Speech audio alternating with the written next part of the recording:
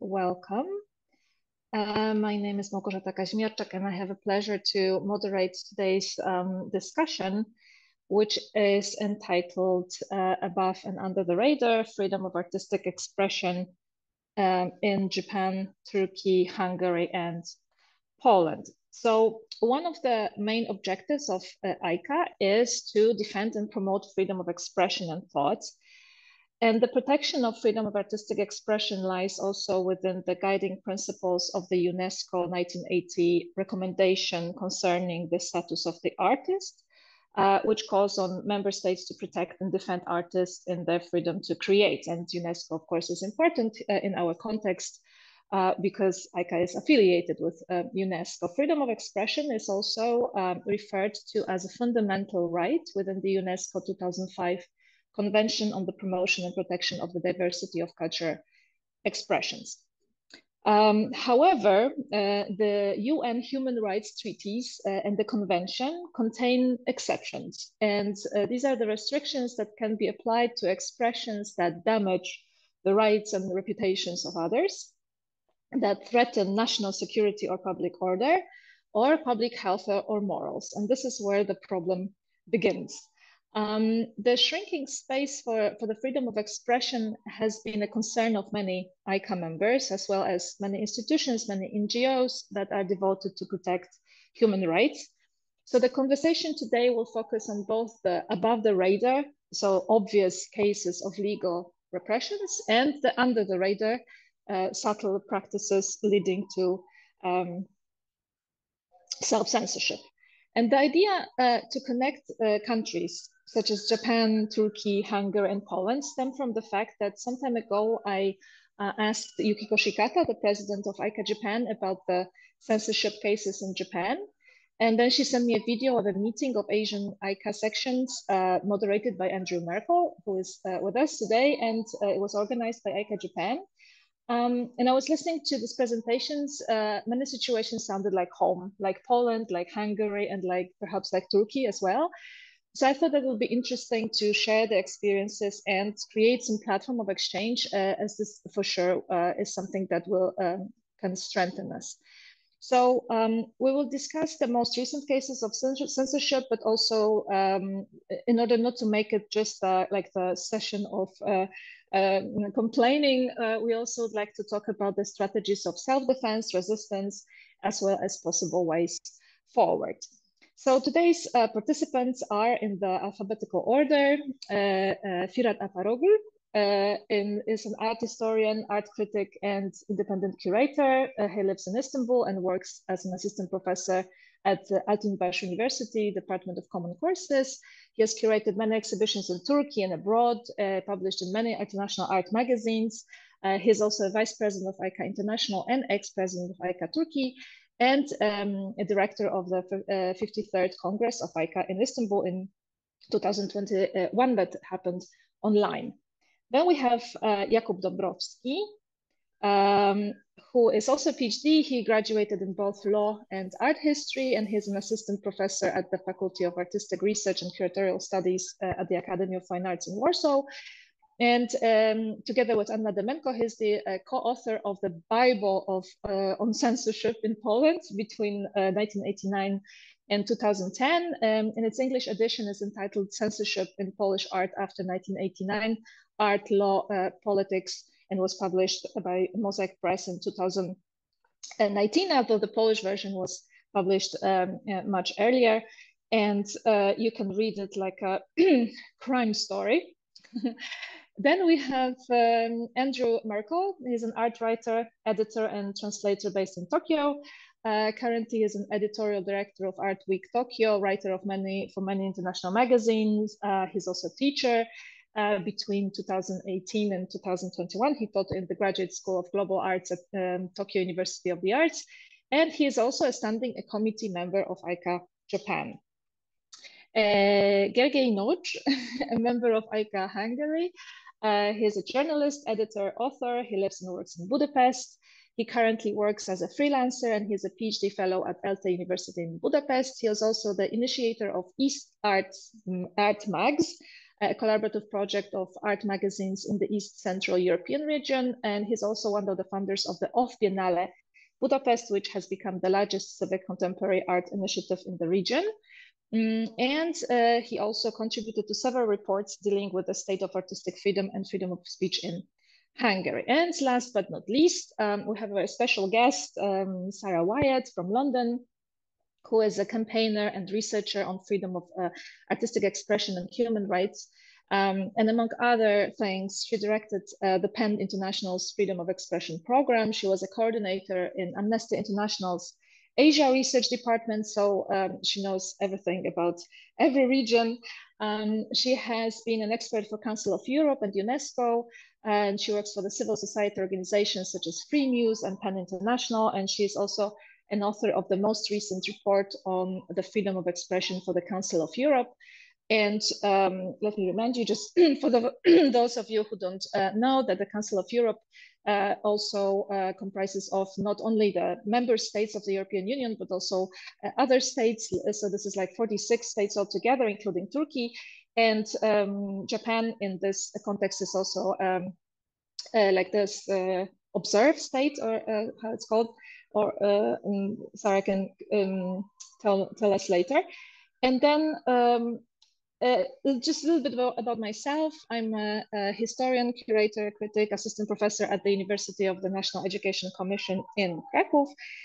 Mm, since 2020, I'm the vice president of AICA Poland and, and AICA International. And um, the, the way I got um, involved into uh, most of you is that the, I uh, co-created the report um, on censorship in Poland between 2017 and 2021 for the AICA's uh, censorship committee.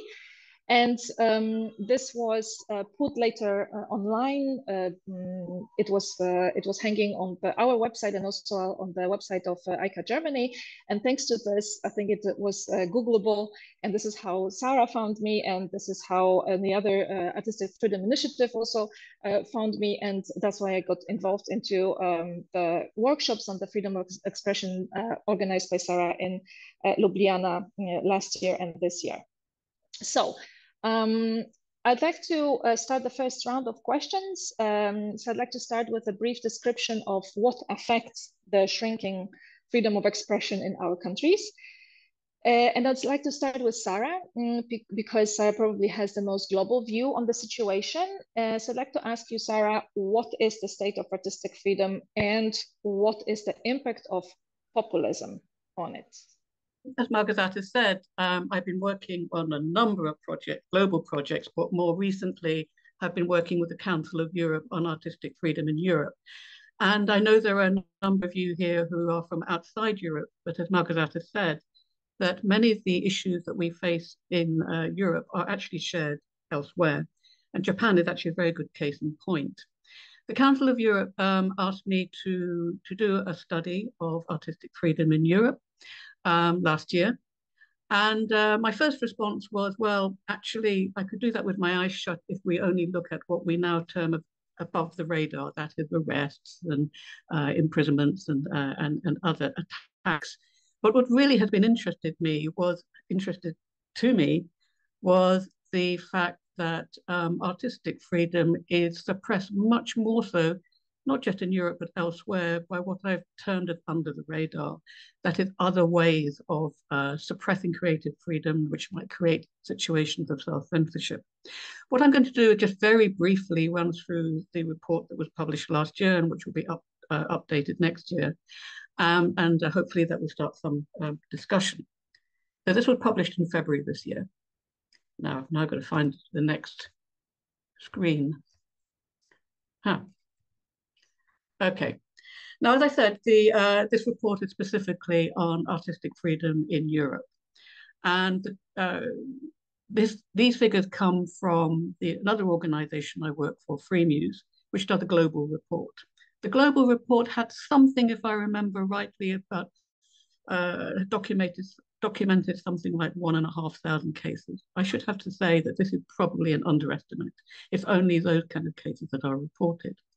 Interestingly, when you're looking at Europe, you will see that there are uh, around four, over 400 reported attacks, in 28 countries, and this represents 32% of all recorded attacks globally. Again, you have to remember that um, these are affected by the accessibility and being able to access the information in many countries due to language, due to um, suppression of freedom of expression, lack of access, that this is only um, a small amount. But it does give you at least a taste um, of, of, of the problem and that there is a tendency to see um, that to see artistic freedom as being something that happens outside of Europe, except obviously the obvious countries like Hungary and Turkey. But just to give you a flavour of that. Now, what are effects, uh, what are the range of threats to artistic freedom? This is above the radar. Anti-terror legislation. Now, this is so often misinterpreted. Um, it will cover issues like um, minority rights or calls for um, for independence. Um, and we see that a lot in, particularly in countries like Turkey and Europe, but also elsewhere. Security legislation in China, for instance, it's a major issue. Then uh, we have uh, insult laws. Now, artists in particular um, work with satire, and uh, so they are quite liable to be uh, to be uh, accused of insulting those in power. So that's another major issue. We have laws on blasphemy and insult to religion. Again, uh, artists tend to want to push the boundaries a little and find themselves um, uh, subject to, to these legislation. We also have violence and intimidation by non-government groups, and this can, I, to my recollection, it hadn't happened in Europe, but certainly last year there were many cases of artists who were actually killed either by government forces or by uh, by non-government groups, some of them inspired by their governments and certainly uh, not um, not tackled by, um, by by the governments. We had a special issue for vulnerable groups, particularly minorities, women, LGBTQI, and others. And there's also a whole subsection of online dangers of the uh, trolling and threats and shutting down of the internet, of which there have been many reports. This is just a very broad overview of the kind of issue that uh, artists in Europe and indeed elsewhere uh, suffer.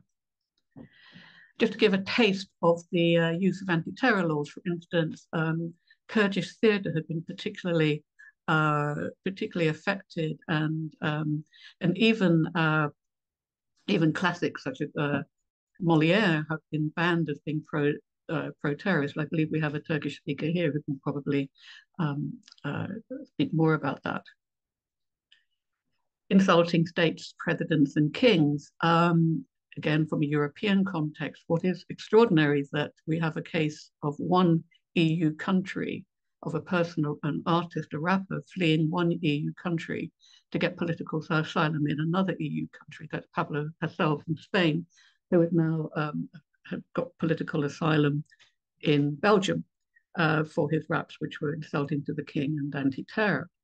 You've got the famous case, um, well, famous for a while, uh, in Germany of the comedian Jan Böhmermann, who extraordinarily um, was uh, brought to court on the request of, uh, of Erdogan, who used laws existing in Germany that enables uh, foreign governments uh, to take cases um, where there are laws about insult to foreign ministers with foreign state symbols. Um, and what is extraordinary in a European context is the number of countries that have laws that make it illegal where you can be prosecuted for insulting your king or your president or indeed someone else's, or for trampling on a flag. Blasphemy and religious insult is a huge issue. Um, again, this is something that has been particularly so in, um, in countries in South Asia uh, and indeed elsewhere. Um, and uh, but what has been some good news in recent years in Europe anyway is that these blasphemy laws have been um, removed in some countries.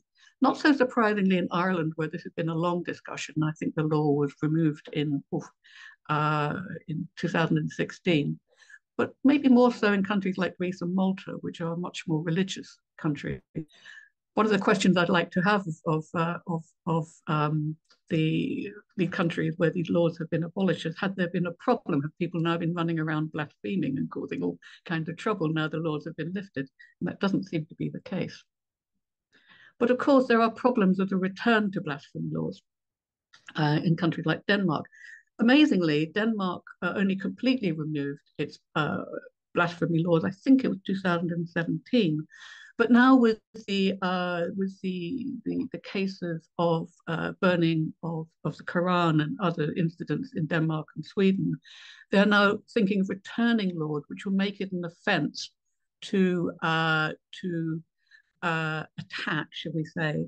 Um, they don't say specifically in this proposed law, which is before um, Parliament at the moment, they don't say specifically Christian or, or, or Muslim texts, but they talk about more broadly about uh, objects of, um, I'm just paraphrasing here, objects of uh, religious sanctity, which is really problematic.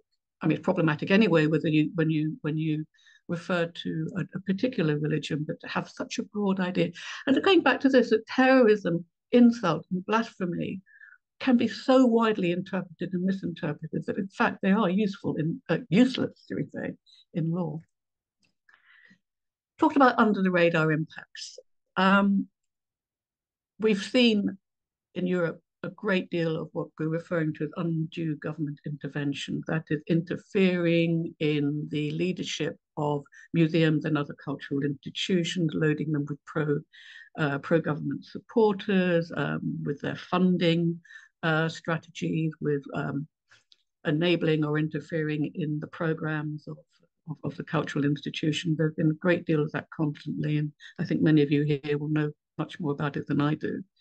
There is institutional censorship where, you know, maybe your, your theatre may be very keen on the work that you're doing, but will not dare to put it up for fear of losing their own support. If we put up this kind of work, we'll lose our sponsorship, we'll lose our government funding, and we might get a uh, a gang of crazy guys uh, outside the cinema or theatre um, threatening our staff and the audiences and actually scaring off our audiences. Um, we have the special problems of underrepresented groups, and this was particularly interesting for us, and Małgorzata will remember from our meeting earlier this month in Ljubljana, where we had quite a number of people from minority groups talking about the special problems that they have. Um, very interesting. Underlying all of this is the status of the artist and the general precarity of being an artist, um, the finance, you know, the fact that um, culture is one of the least uh, financed um, sectors, um, and that this very precarity can make one less uh, willing to do works which are more uh, challenging. Um, do you call it self-censorship or do you call it pragmatism is one of the questions. And also interesting is the role of funders at inadvertent censors by the choices that they make or the conditions that they give to their funding. And it was another topic of big discussion in Ljubljana um, earlier this month. Um, the report itself uh, covered up to 2022, and um, I've since updated just some new cases to show that it is uh, it, it is still um, uh, the, the problems in 2023. The book burning uh, controversy has had repercussions. For instance, in Sweden, um, you wouldn't necessarily call this censorship. This piece of work of veiled women was to be very prominent in the gallery, but the gallery was forced to actually remove, not remove it, but way put it way back. It's very small, but it is actually a significant uh, concern that one has to uh, adapt one's work. Again, maybe it's pragmatism, maybe it's censorship. We have the continuing issue of right-wing attacks, particularly on works relating to uh, minorities. There was a case in, I think it was uh, Dortmund, uh, uh of an exhibition on colonization, colonialism, sorry. And this and a workshop attracted um, threats of violence. And uh, in this case, the German police had to provide protection. This may indeed uh, make anybody involved think twice about what kind of material that they do. Many, many cases of um, museum directors um, being ousted from direct pressure or otherwise. We've seen cases in Italy where the director of the Egyptian Museum in Turin was pressured to resign after he um, uh, he gave uh, discounted tickets for the uh, an exhibition on Egypt for people from Arabic speakers. We had, you, know, you know the case in Poland of the director of the uh, Pacific, uh, Asia Pacific Museum. I'm sure we'll talk more about that. These tend to be around issues uh, of, so we say, minorities. In Spain, um, there was a huge campaign against the Sofia Museum director, more to do with his um, of his showing of contemporary art and with the right wing wanting to see more sort of historical nationalistic art. And again, this is a really interesting topic that came up in Ljubljana earlier this year, um, early this month, where the artist talked about historical revisionism and uh, having, in a very precarious uh, situation where there's very limited funds, the artists sometimes have to do work um, that fit the government agenda um, or don't choose not to do the work at all. Um, as I said, there was good news. We had Malta. Um, it also not only did it uh, remove blasphemy laws, it uh, has now amended its law to enhance artistic freedom. In this case, very specifically, talking about the right to satire. Um, so we do see some positive developments over time, although legislative change does take a long time. As Margareta said, um, I mean, we could forever talk and complain, um, but we need to take action. Um, one of the things that we're doing through the Council of Europe is to uh, encourage uh, states to stand by their obligation to protect artistic freedom. We have a manifesto on artistic freedom in Council of Europe, and there are other manifestos and statements uh, internationally. Though one of the problems has been, and it's not just with states, but there's a real lack of understanding what is artistic freedom across the board. And that is one of the, the, the, the issues. We're seeing um, we increasingly artists. When I start first started working on artistic freedom, were seen as peripheral or unimportant when I'm talking to my colleagues in international organizations and civil society organizations. And I think due to a lot of the work, particularly in the last 10 years, um, they're beginning to understand the importance of artists and including them in their, in their work. Um, artists and cultural institutions themselves lack the, um, on the whole, lack the capacity to monitor attacks on artistic freedom on their own country. This is due to resources, it is due to lack of expertise, and this is something that we want to encourage more support for. We are um, also, and this is Council of Europe, and just also other other institutions are providing platforms and uh, networks for artists to exchange. Because one of the things that I also noticed is that when I'm dealing with the human rights organizations and the civil society organizations, there is a one big gap. Artists are very rarely invited to take part. So you don't really hear their experience. And this is something that we're pushing for.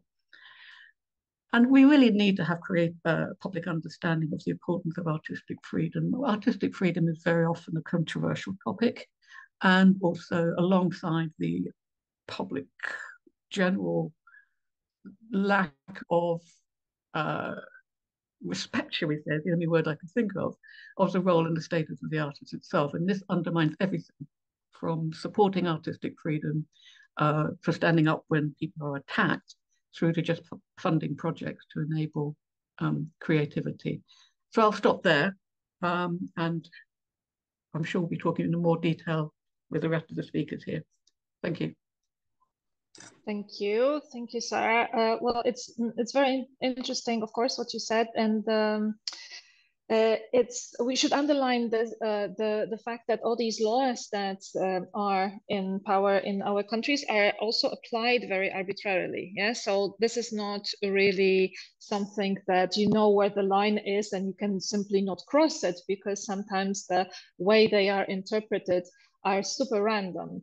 Yes, so like to just give you an example, like two sticks that resemble the cross with something that resembled genitals in Poland was a, a, a case, or throwing three eggs at the door of the church. Uh, for this, the, the person was uh, condemned, yeah, for insulting religious religious feelings in Poland. So, uh, so this is very arbitrary, and um, and uh, this is against this uh, argument that, okay, we have a conservative society, so we have conservative laws, but this is not really so simple. Um, and also, um, just a small comment on the Asia Pacific situation, because the Asia Pacific uh, Museum, the director was removed by the, actually by not by the right wing, but actually by the civic platform um, Marshall. And this is also something that probably Jakub will talk about later, that uh, censorship is not really uh, only uh, the, the thing of, um, of the right wing government. So, um, all right, so then let's move to Andrew.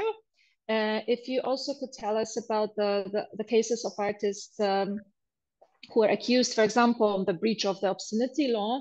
Uh, yes, like uh, Megumi Igarashi, for example, was like the, the most the famous case. And uh, we know about that. And well, maybe there are also other sensitive topics.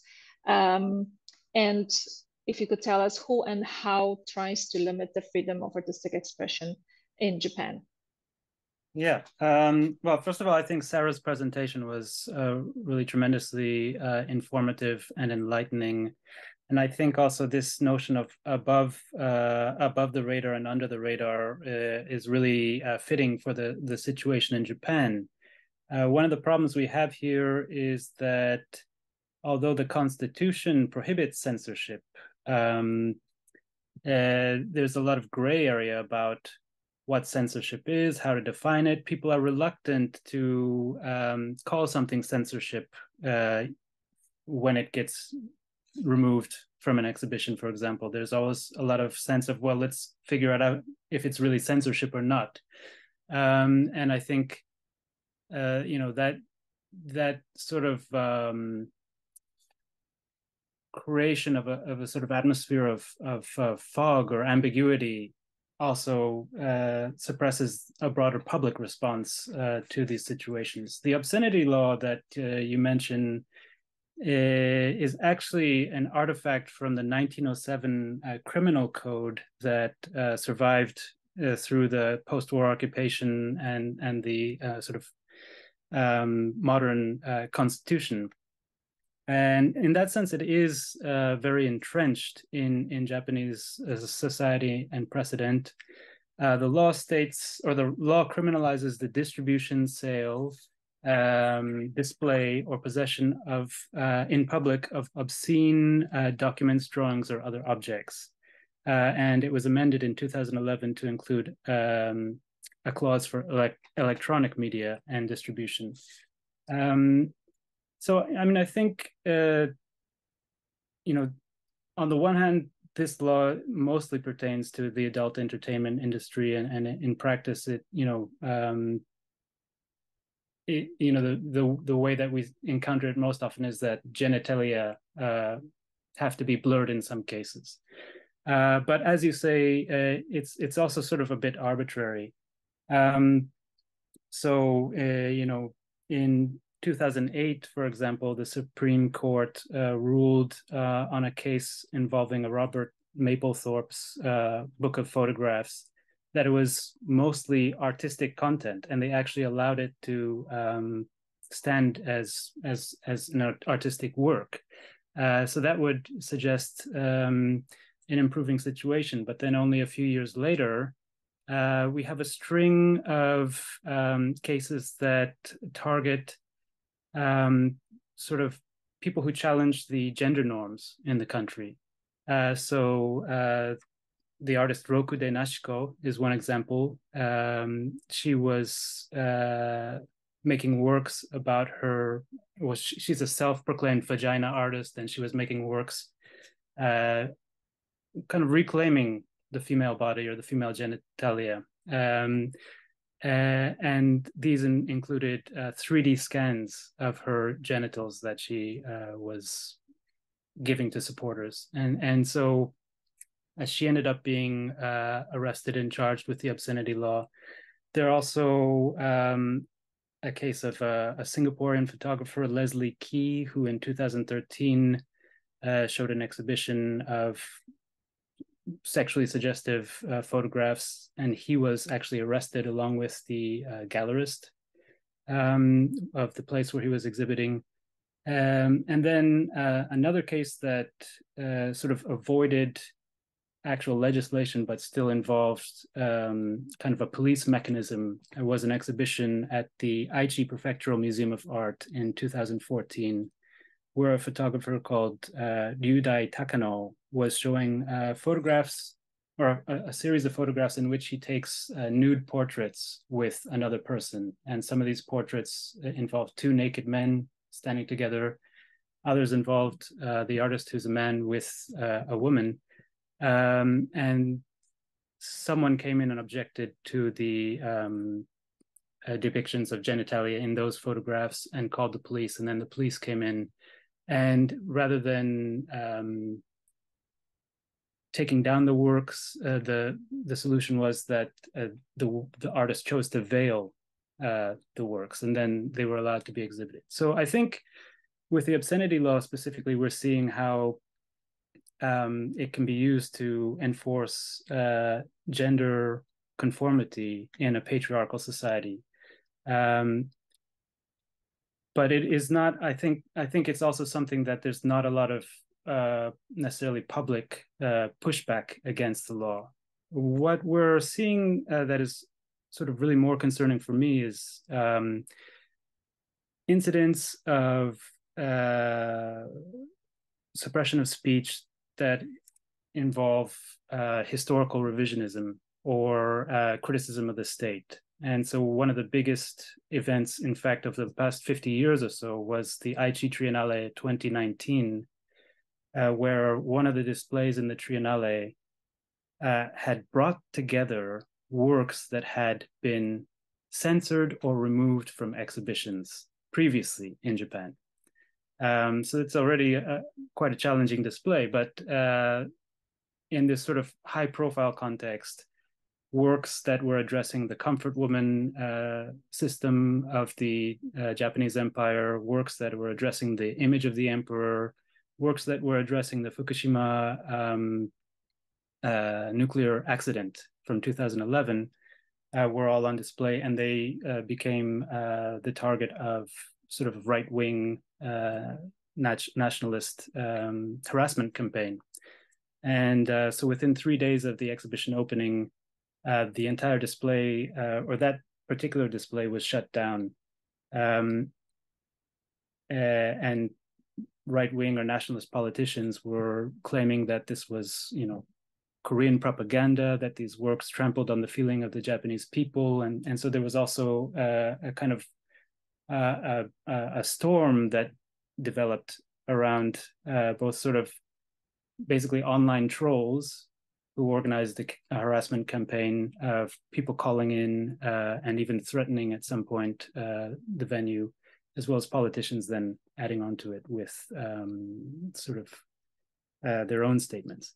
Um, the thing about the Aichi Triennale was that uh, artists and art professionals and curators, both involved in the exhibition and uh, those who were not involved in the exhibition, uh, organized and uh, put together a counter campaign uh, and eventually um, successfully lobbied the Triennale to reinstate uh, the display under um, sort of compromised conditions, but nevertheless, uh, it was a very important. Um, I wouldn't say victory, but you know, it, it, sort of prevented an outright catastrophe for uh, freedom of expression in Japan. Um, since then we've had the pandemic and and and so we we're sort of in a, a, kind of gray area where we, we haven't really had a chance to digest uh, what took place at Aichi. Uh, but I think there is still a lot of uh, self-censorship or soft censorship that uh, takes place uh, in Japanese institutions, just as uh, Sara identified in her presentation. And so this is still um, an ongoing issue for us. Okay, thank you. Yes, uh, from what I remember when we were uh, talking in detail about the, the case of Aichi Triennale, that um, okay, that the the action, uh, the, the, the social campaign helped, and we can talk about it later, like what uh, precisely the methods were. But uh, but then uh, it was some kind of uh, Pyrrhus victory because it uh, really like in the following years then it uh, the funding was actually pretty much limited. Yeah, so we can see that we def you defended it, but uh, of course it was not without consequences. Yeah. Yeah. Yeah, but I think you know I, I think in, in in that case in that sense Japan is an interesting case because there is still space uh, to push back against even to, to, even challenge the government as we saw with like the Mapplethorpe um, uh, case uh, and and to push back um, in the Aichi case. And I th- I think it's really important that uh, cultural workers and institutions um, rally to preserve or to protect our freedoms while we still have, you know, that that space to do it. Yeah. Okay, all right. Uh, then I'd like to ask Firat, uh, because uh, as we know, well, in this uh, competition, uh, you know, like that we have during the um, the Council of Europe workshops, it's like Poland is always winning, but uh, not until somebody from Turkey shows up. So, um, so the repressions of, in Turkey can be really, uh, really severe. It can be imprisonment, like in case of Osman Kavala, for example, yeah, like, that he received aggravated life sentence, um, and you can also lose the job, uh, etc. So. Uh, but it also is connected with the privatization of culture. And so, if you could tell us um, what are the methods of the of the government that the government uses to oppress culture, culture workers and what are the um, interconnections between the various actors of the public life? Well, thank you, Małgorzata. So, uh, greetings from Istanbul. Uh, hi, everyone. So, of course, uh, these problems are same for Turkey, uh, and also if we want to write, we can write a huge Bible of censorship, even from the Republican times to date maybe uh, during the late Ottoman times as well. Uh, the actual government, uh, couldn't get rid of them lastly, so we have to survive for another four years. Uh, but the actual government used various methods to oppress cultural workers and stifle the freedom of expression. So some features we can count uh, at first hand as it's called, imprisonment and illegal harassment, uh, which are very important problems because cultural workers, including journalists, artists like Zehra Doğan's case, the Kurdish women artist, and writers and academics are often targeted with criminal charges such as terrorism, which is a very serious accusation, and defamation or inciting violence. And these charges are frequently used as a means to suppress dissenting voices and critical opinions. For instance, in 2017, the journalist Ahmet Şık was arrested as part of the Ergenekon investigation on charges of disclosing secret state documents.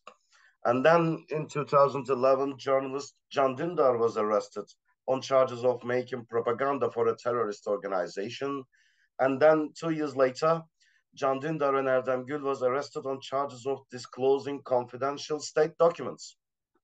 And in 2015, journalist Barış Terkoğlu and Murat Sabuncu were arrested on charges of membership in a terrorist organization. So in Turkey, actual government can use this word easily for everyone. So, and after that, in trial, you have to defend yourself, even without any any um, evident.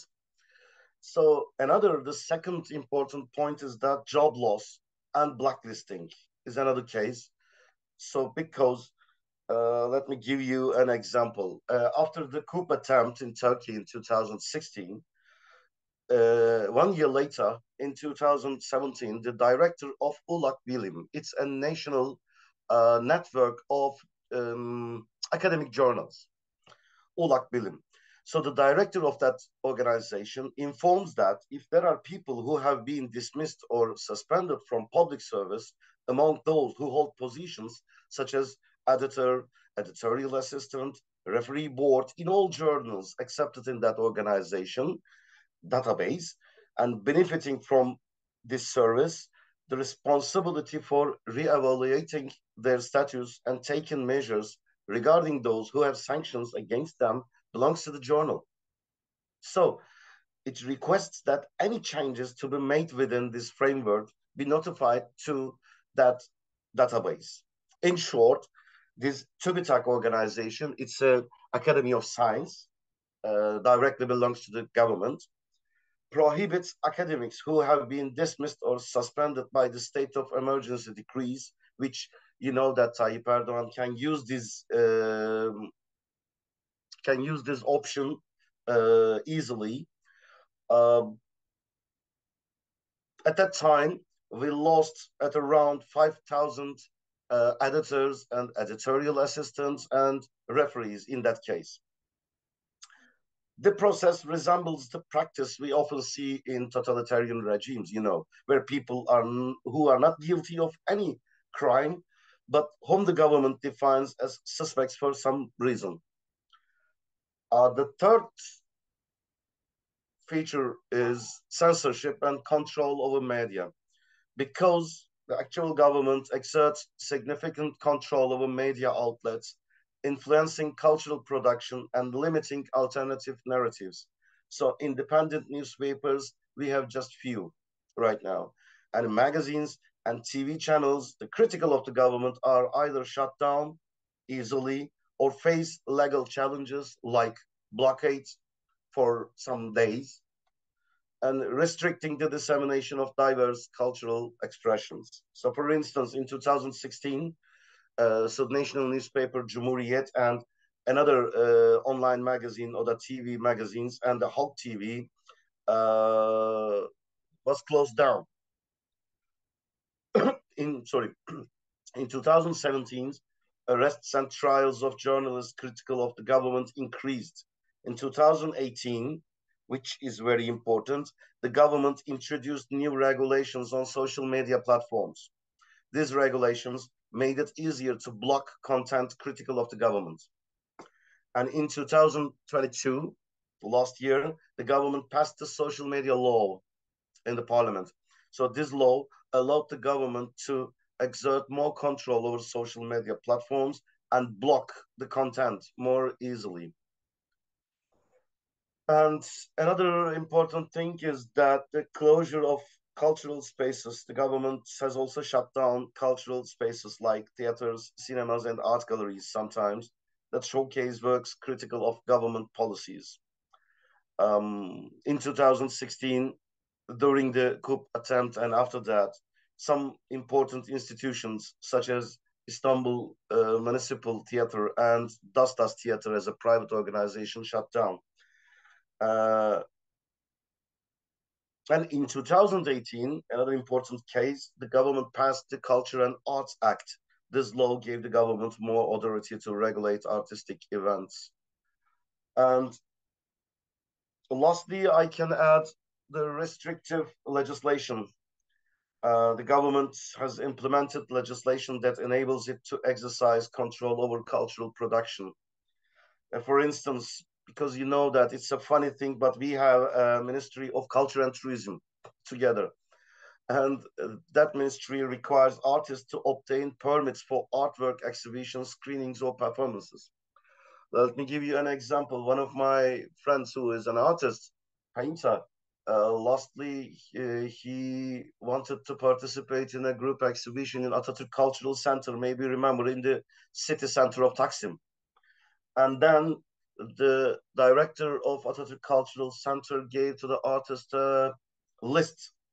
So in that list, you can see that I won't paint any painting, uh, including the content of political or content of uh, local values. You know that it's a very famous in Turkey, local values. Also, it's about gender, it's about sexuality, etc. In 2017, an art gallery in Istanbul closed down uh, because of an exhibition that criticized the government. And in 2018, a theater in Ankara was banned for staging a play critical of the government. And then in 2020, a music festival in Izmir was stopped. Uh, and maybe you saw on social media regularly uh, the rock festivals and the music festivals are banned regularly. And the method is really easy because some national nationalist or fundamental groups the actual government found and then they wrote a letter wrote a statement against that festival. And then the mayor of the city can decide as hey come on maybe this organization can touch down the sensitive points of local values so let's close down or let's postpone so before I finish uh, in this session, uh, we can uh, point out to some problems about this. The interconnections between various actors of public life contribute to the oppression of cultural workers in Turkey. I can count one, of course, the government authorities, because of the ruling party and the government officials play a significant role in enforcing repressive measures against cultural workers. And secondly, media, not just the free media I'm talking about, pro-government media, we have too much right now. Very too, too many, many newspapers or even the media outlets you can find often engage in some kind of campaigns against cultural workers, labeling them as terrorists or traitors easily. So one day you can wake up and you can see your uh, image in front page of a newspaper who accused of you traitor. Uh, when I was at the Mardin International Mardin Biennale, I was the co-creator at that time. After the opening of the uh, Biennale, you know that the regular drinking wine and dine, etc. So uh, after the opening, so in the morning time, we can we saw uh, news that the staff of the Mardin Biennale forced the children to drink wine. It's ridiculous, but it was written by the fundamentalist groups. Right now, three of them are members of the parliament under the umbrella of actual government. So, as I told, the method is easy. The nationalist and fundamentalist groups and supporters uh, closely aligned with the government often target cultural workers who express views challenging the dominant nationalist narrative. And of course, as Sara and Andrew put rightly, openly, and frankly, the censorship apparatus, uh, government institutions, including the media, and also we have, you know, that we have another department directly belong to the Prime Minister, information, sorry, Directorate of Communications which belongs to Erdogan directly. So actively monitor and censor content across various mediums, limiting freedom and expression and cultural diversity. And lastly, academic institutions, if we can talk about an academy, uh, universities and academic circles face increasing pressure to conform to government policies and restrict critical thinking. So you have to be careful what you say in the class, what you say in a conference, etc. So because some of our professors, some of my colleagues are faced with trials about that because uh, a student or two can uh, do something against you for that. So, uh, and professors and students expressing dissenting views are often punished, leading to self-censorship and a limited exploration of uh, sensitive topics. But uh, before I finish, it is not just problem about the actual government as well. Maybe we can say that last 20 years or 24 years, the actual government put a behavior generally uh, that some private organizations did the same things because they learned that from that kind of one-manship so maybe we can talk another time, but you uh, learned, uh, I think you uh, saw uh, the news about the last appointment of Istanbul Biennale's curator. So uh, with your permission, I can finish right now. So I can continue in the second session. Thank you. Thank you. Yes, uh, you touched uh, a lot of important issues like the academic freedom that didn't show up yet uh, so far, but it's also a problem in Poland. You know, I, uh, I myself, I also experienced some some problems in censorship at the in the academia. Uh, and also, uh, probably we should mention that uh, there would have been a lot of more cases of prosecution, if not the immigration from Turkey also, because a lot of people managed to escape the, the prosecution, right? And among the Turkish and Kurdish um, people. So probably it would have been even worse if, the, if they didn't manage to to immigrate but of course it breaks people's lives uh, because sometimes of course they just they they are refugees right and um, and also like you mentioned this way of uh, funding the, the fundamentalists so this is also like sounds like home because obviously we also have that uh, that the, uh, the the ngos that prosecute artists are sponsored from the state. And that's why they this is their their uh, way of um, operating. Um, okay uh, so then let's let's turn to um, uh, Gergely and to Hungary and uh, in Hungary, there was um, the new constitution passed in 2010. And so, how that did that affect the situation of uh, the freedom of expression in, in Hungary? And what is the MMA? And what does it do to the Hungarian culture? Uh, thank you, Małgorzata, for the question. And thanks, everybody, for being here. And thanks for having me. Um, obviously, the situation in Hungary is not as, as harsh and severe as, as it is in Turkey but there are some techniques and some methods that the government is using and and Firat was talking about, uh, which were really uh, familiar for me as well. And the tendency is really um, kind of um, pointing towards Turkey, pointing towards Russia, or even Belarus here in Hungary. Um, actually, the new uh, the new constitution was was uh, established or introduced in 2011, but but the the the Fidesz government, Fidesz is the name of the ruling party here, uh, started it its its uh, its uh, time in power in 2010 when they won uh, a landslide victory uh, for the first time, and uh, so we are talking about almost 13 years now.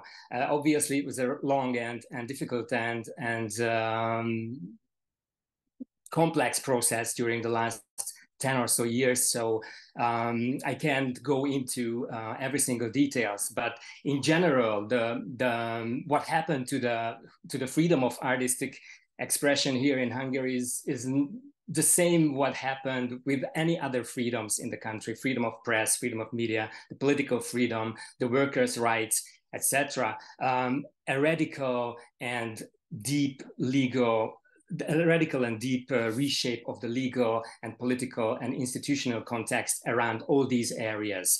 Um, it was a gradual process but it happened relatively quickly.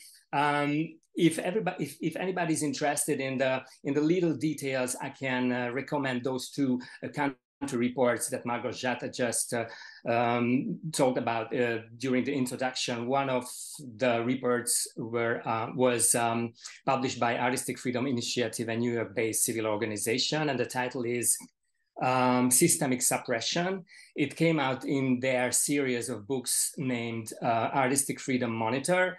It came out, I think, two years ago. Um, it's free to download from the internet, from the website of AFI, Artistic Freedom Initiative. And the other report is a two volume book, which is very interesting, um, put together and published by uh, a Budapest based organization called Network of Academics.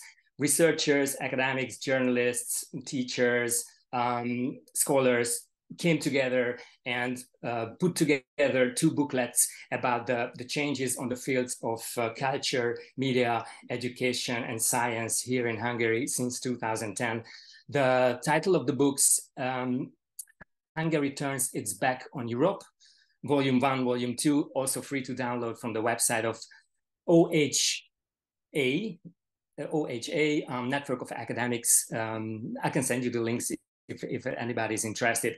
So um, what happened on the field of art and culture was part of how Fidesz, the ruling party, consolidated its power in all areas in the country um, and in progress in parallel with the restriction of freedom of speech and freedom of press in the country. Um, just very quickly, Fidesz, Fidesz moved from one area to another. First, in 2010, it was press and media, just like in Turkey. Now more, now more than two thirds of the media landscape is controlled uh, directly or indirectly by the ruling party, or at least neutral and stay stays close to the ruling party. When I'm talking about party, I'm talking about government, and when I'm talking about government, I'm talking about state because the party, the government, and the state obviously strictly uh, and strongly intertwined in this situation.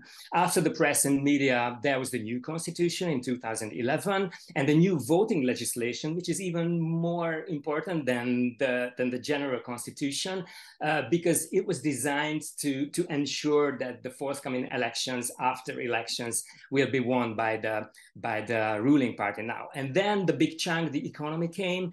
Now according to certain researchers, more than 30% uh, of the whole economy in Hungary is directly or indirectly owned or controlled by the circles of the ruling party. And the latest phenomenon and the latest development is the education, the higher education. Now, there are only five universities remained which are not under the direct control of the party.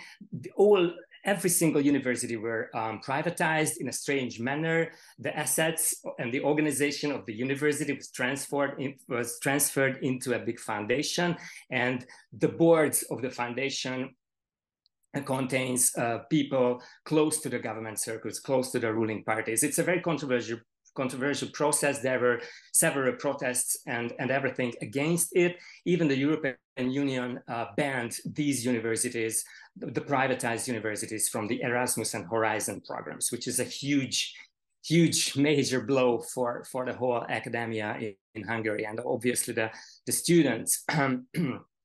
so the same thing happened on the field of arts and culture and the basic uh, characteristics, the basic direction of the the, of the legal and institutional and financial changes are aiming a certain kind of lobotomy or zombification and depoliticization of, of arts and culture here in the country. And at the same time, because we are in the EU, uh, maintaining and keeping up a kind of optical illusion, a kind of uh, optimistic culture production on the surface, but behind the scenes, behind the surface, there is a even stronger um, increasing kind of suppression of critical voices with different tools, obviously self-censorship, encouraging self-censorship is one of the tools. The organization you, uh, Małgorzata, just asked about, MMA, MMA, stands for um, Hungarian Academy of Arts. It is a big fountainhead, a bigger kind of organization, which is protected by this new um, constitution on the same level as the scientific academy. But at the same time, the, the Academy of Arts is just does not produce any kind of serious output. They don't have any kind of relevant projects. It's nothing more, at least in my opinion, um, than a body of old conservative artists who are paid a monthly salary and whose job is to provide ideological support to the system. This is also one of the tools that the government uses, creating new parallel institutions alongside to the existing ones and downsizing the, the, the old ones and then eliminating them However, uh, MMI is just becoming less and less important now. This also belongs to the nature of the system to constantly change the inf these informal power centers, placing new institutions, new people, new structures in the center, um, and mm, um, in, in order to create an uncertain kind of um, environment. Why does the government do all this? I think they realize that they do not have to expect any serious political opposition from the parliamentary parties as they are divided and weak. And on the other hand, uh, they uh, identified culture and the cultural civil sector as a potential danger because a kind of criticism and resistance can be formed and and fostered here. They knew it well, I think, because it's quite the same that it that that was happened in uh, the 70s and 80s, these little circles of culture, culture production, artistic practices represented a kind of resistance to the system, fostering certain uh, kind of political activism as well, and, the, and, the, and then survive the system. so this kind of resistance can be small, but it's strong at the same time because it can define the mentality of, of certain circles of the society. Um, I really don't want to go into details because we don't have too much time. Um, as I mentioned, um, the, the main characteristic of all these uh, legal and institutional changes are reshaping the environment around culture and art. Um, obviously, in principle, all artists can create works freely and present them freely. But in the meantime, the institutional environment was radically transformed in order to silence the critical voices as much as possible in order to prevent critical works even being produced as much as possible, or if they have been produced, prevent them from having a major impact. What does it mean in the practice? um, control of financial resources, control of mm, spaces of representation, control of media, control of communication channels. The legal context, the institutional con context, as I mentioned, constantly changing. There's an increasing confusion and pressure you never know what's going to happen. Uh, as a result of that, lots of uh, people from the culture field, from the artistic field, leaving the country uh, or staying inactive. There's a kind of fatigue, there's a kind of disillusionment, there's a kind of depression. There's a huge pressure, just like in Turkey, as you mentioned, um, Firat, uh, just some minutes ago. There's a huge pressure on the existential individual level on everybody the increasing uh, high inflation, which is actually the highest in the European Union, obviously doesn't help. So even buying the basic food stuff for the people is just quite quite a big quite a big challenge for for almost everybody here in the country. Up until the recent times, and that's the last thing I would like to mention, there was no direct censorship cases because the government just didn't need it because they reshaped the whole system. And as I mentioned, the critical works quite quite a lot of the critical work just just invisible for the for the for, for most of the people but recently under the pretext of protecting the minors protecting the children a new law um, came up uh, which attempts to restrict the public's exposure to lgbtq issues and themes in educational institutions and media and there's a increasing criminalization of transmission of LGBTQ uh, content. And as a result, the, uh, the book publishers have to um, wrap certain books in foil, which is quite ridiculous in a way. But from this time on, we have to live together with, with these, these books in the bookstores, which is quite kind of, you know, frightening and bizarre and, and um, strange at the same time. So this is, I think this is a serious step towards the, the direct censorship after the, the subtle um, techniques here in Hungary. Yes, thank you. Um, yes, it's it's very important what you said also that the that the, the governments are afraid of us because this is where the criticism comes from, and um, yes, and then the that we are we were really uh, walking also this into this direction that we stopped needing uh, the censorship and it was actually the we, we were uh, already on that path i think uh, because when i was reporting the cases of censorship in poland up to 21 it, it was a lot of it but all of a sudden it stopped. And there was like um, almost nothing to talk about because uh, they changed the directors of institutions and then uh, people are self-censoring themselves and that's it. Yeah and so we just don't have any opposition. We okay in poland our situation is, is different because we have um, it's the, the system is a bit decentralized yes so so uh, it's a little bit better but still uh, this is very very uh, sad what you are talking about. Um, so so um, let's switch to because we are going to continue talking about Hungary of course uh, uh, later but let's switch to um, to Jakub uh, because Jakub wrote that um, famous book on censorship uh, and is also an active observer of public life. Uh, but also in your recent text, uh, not so recent, but the last one about censorship in Szum, you wrote that uh, maybe it's not time to lament, lament the censorship of, of, the visual arts when the forests burn. And then it was both meant as the climate catastrophe, but also the total destruction of democracy. Uh, in Poland. So, if you could tell us um, uh, how the situation changed uh, since after the, the period that was covered by your book, uh, that means after 2010. Okay, thank you for the invitation. Hello, everyone. Um, well, when I while I was writing, I, while uh, writing about uh, forest issue. Yeah, I had in mind even broader broader context. It seems that uh, democratic systems globally um, are under pressure and um, heading towards kind of catastrophe. It's not only about Poland, Hungary, Turkey, uh, Israel, or India, but let's look at the United States and uh, the attack on the Capitol and the growing polarization, polarization of this uh, of the society. Um, and uh, let's look at the growing power of the nationalist, uh, populist uh, parties in Germany or France, yeah, or Slovakia, which actually they, they just took power in this country. Um, no, do not forget about Russia, which is actually a pure totalitarianism combined with uh, very aggressive imperialism now. So the situation as a whole in the world is, I would say, uh, very, uh, very dangerous.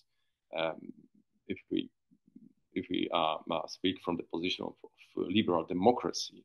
But turning specifically to, to Poland, um, no doubt, since the election uh, uh in 2015, um, mm, in Poland, the situation uh, gradually abandoned, uh, I mean, Poland gradually abandoned uh, the established rules of liberal democracy. And uh, Law and Justice, that's the name of the ruling party, um, let's stress the, party still, uh, still, have, still has the, the power and tries to secure this power for the future. Um, um, mm, um, stand against such uh, such uh, values uh, against uh, values such as balance between different types of powers, separation of state and church, quality of legislation, human and civil rights protection, especially women rights, uh, women reproductive rights, and LGBTQ rights, uh, pluralistic mass media, and delegation of powers to lower levels. However, the above mentioned um, mm, mentioned foundations of liberal democracy didn't function well in Poland and were already corrupted before before law and justice came to power in 2015.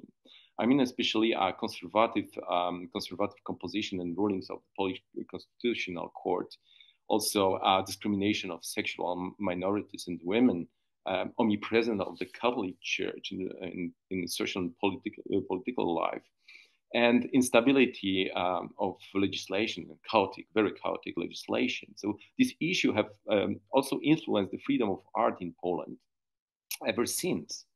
And in my opinion, the, the current situation, uh, uh current uh, state of affairs is just a hyper intensification of the problems of, of problems which were gradually accumulated in Poland after 1989. So, so what is this um, uh, hyper uh, intensification about uh, currently? Um, reaching for the well-known Althusserian terms, law and justice has started to use the repressive state apparatus and the cultural state apparatuses in a very peculiar way.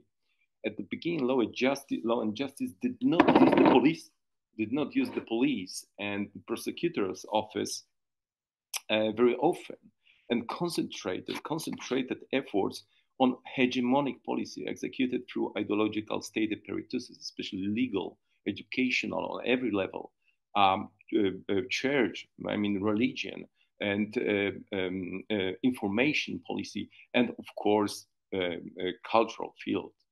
So um, to illustrate the following uh, actions uh, have been taken uh, by the authorities in the domain of culture to, to enforce the role of the cultural ideological state apparatus. Uh, the role of the central government was, has been strengthened. New institutions have been established or new programs and staff have been introduced to the old ones um, most of the management in cultural institutions has been replaced. And the distribution of money uh, to institutions, trade press, artists, and uh, scholars has been brought under strict control. And it's important to note that the, the, the changes in the cultural field, uh, in the cultural ideological state uh, apparatus, um, have been carried out in very, uh, very planned manner the party first to control over uh, over the sector with the strongest social impact. That means, of course, the mass media and the film industry. Uh, after that, they began to, to pacify the theater milieu, uh, gradually changing the management of, uh, uh, of the institutions um, uh, and promoting, they started to promote institutions with conservative programs. They cut, they also cut budgets of the progressive festivals and theaters. Um, at the same time, Law and Justice started to develop their own institutions um, vital for the newly declared uh, history-oriented policy, which is actually the main point of their cultural agenda. History-oriented policy, which is uh, pointed toward um, toward. I mean, they want to build one-dimensional, uh, uh national, proud uh, community, yeah, via this kind of institution, this kind of uh, policy.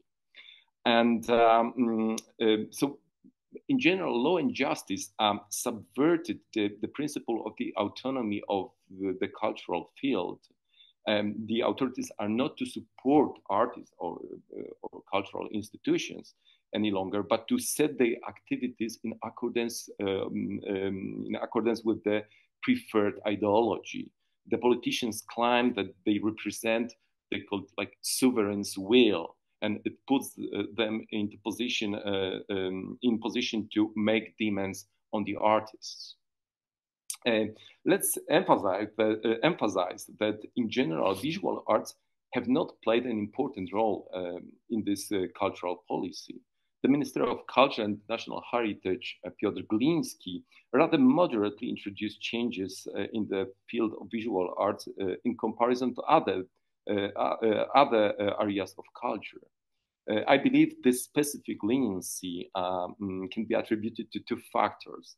the limited social influence of art, visual arts, and secondly, um, significant lack of right-wing conservative uh, professionals.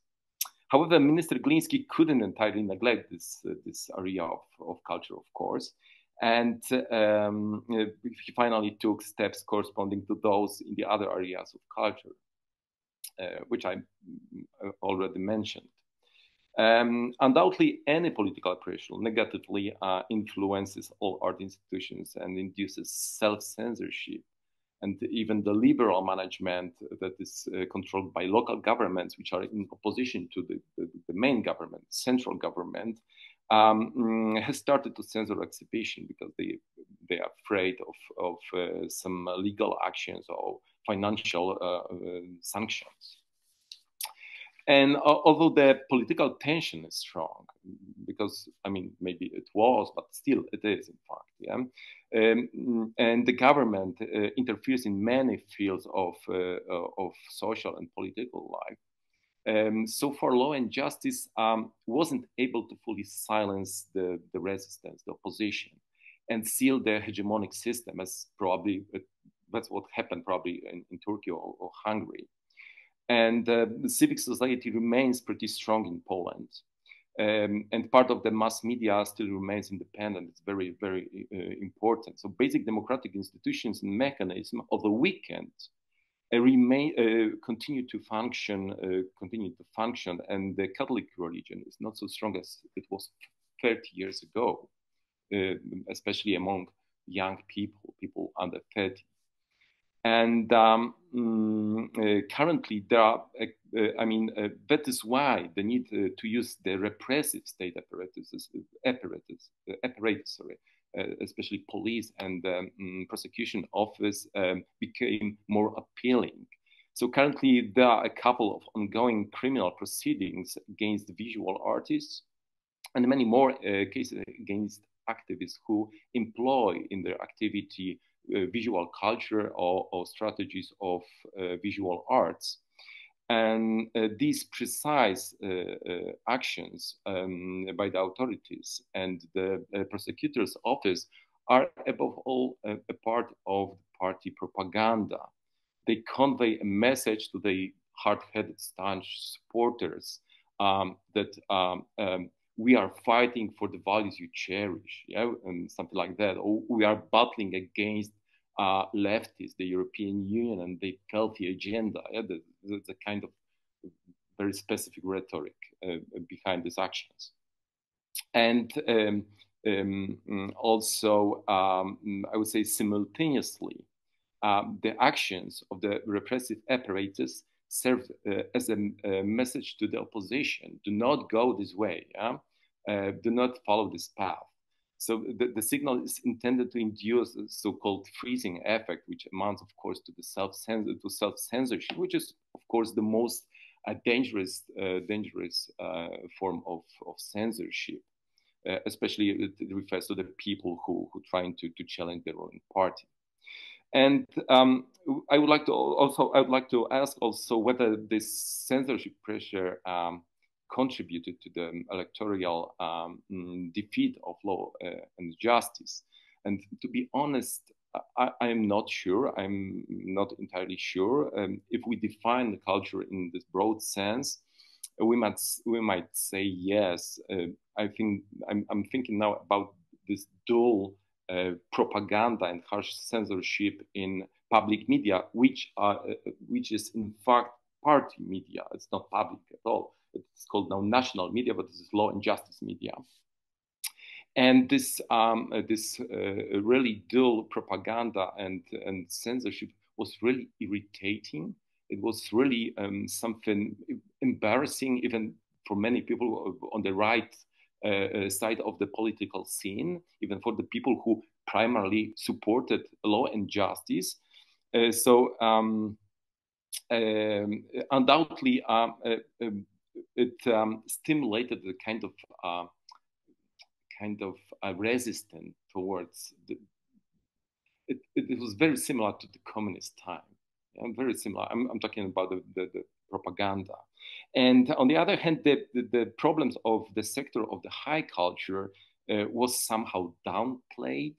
I mean, um, uh, it was lost amid a number of scandals, political and social tensions, and other heavy, uh, heavyweight um, controversies. Um, I think I'm, I'm done. Thank you. Thank you. We're going to continue later. Yes, and also what um, you mentioned, uh, that was very important. I think that uh, on the on the uh, on the right wing side, there is not many competent uh, people, and this was actually this is this is a very uh, serious uh, issue now um, because obviously when Law and Justice uh, changed, like removed the, the previous directors and, and put their, nom- their nominates, then uh, not only they are ideologically on their side, but they're also um, amateurs basically yeah. in that job. Yeah, so this this can cause a disaster, and this uh, already caused some disasters. Sure, sure. Um, so um, yes, and then um, uh, let's move on. I'd like to only uh, also like underline this uh, um, this uh, under the radar um, elements uh, of the um, of, of censorship that all the directors of art institutions in our countries usually know how long their leash is, even if they try to uh, still keep uh, working and keep showing experimental and alternative stuff, then they really uh, uh know uh, how far they can go. And, and this is also, this creates this toxic relationship because uh, it is the, the relationship between the manager of the gallery and the authorities, but also between the institution and artist. And it creates this hostility um, among those groups. And this is also um, you know, this creates this lack of trust, and and this is also pretty dangerous. And um, uh, this also comes with the economic censorship that we talk about it, but it's very and it was interesting because at least in Poland, for some time, it was very difficult to prove. I was trying to find some tools to prove it because, uh, of course, it exists and you can see it, but uh, how you can really prove it that the project wasn't funded because of ideological reasons. But slowly, we reached the point where you don't even have to have the, any tools because it's obvious. Uh, because if it doesn't have national in the title, it's not going to get funding. No, John Paul II, yeah, you need to have John exactly. title of the yeah, you you will get the grant for sure.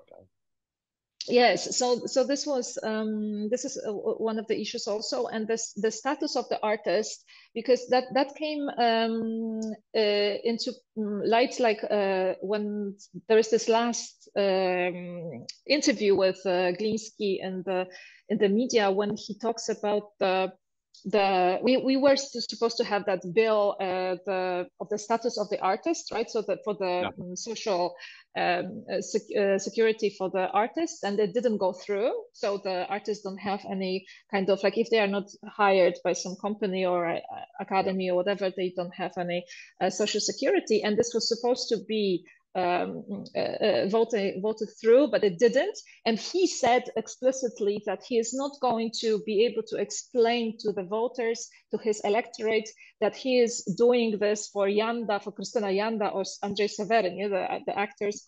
And so that means that shows this kind of disrespect to uh, to artists that are not really on their uh, side. And this is also um, very uh, dangerous because that goes that the example goes from above and then it, it, translates to how people how the society treats artists in general. Um, and um, and also i think that there's this lack of diversity in the decision making bodies. So this is also some, something that is very subtle but it exists. Yeah. Um, all right. Uh, so let's move on uh, to maybe more a little bit more positive uh, note.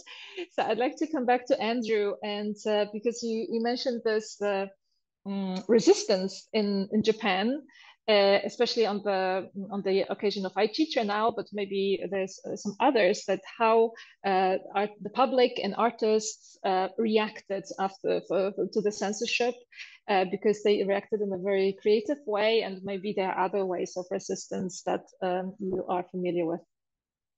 Yeah, I mean, I think with the Aichi Triennale, uh, one of the fascinating things about the response was that it was not quite coordinated.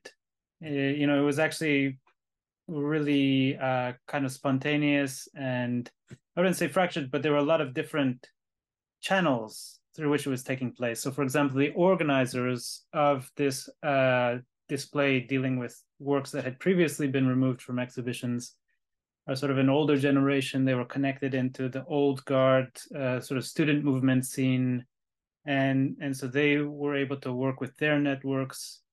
But uh, younger artists in the exhibition also put together uh, their own platform called uh, Refreedom Aichi, and I was involved in that as a volunteer advisor and translator. And uh, they organized a kind of pressure campaign, uh, both uh, working with the uh, Triennale staff and also working with the public to to sort of raise awareness of the issue. There were also a group of international artists and one Japanese artist who uh, removed their works from exhibition. And and initially it, it seemed like they were going to actually withdraw the works from exhibition. They later or, or sort of in the process they reframed it as a pause. Um, and so they they said they would uh, put their works back on view once the um, other display was reinstated um, so you know i think in a sense, if if everyone involved in the Triennale had just said we're going to withdraw our works un, until um, the display is reinstated, it would have probably just been the end of the exhibition.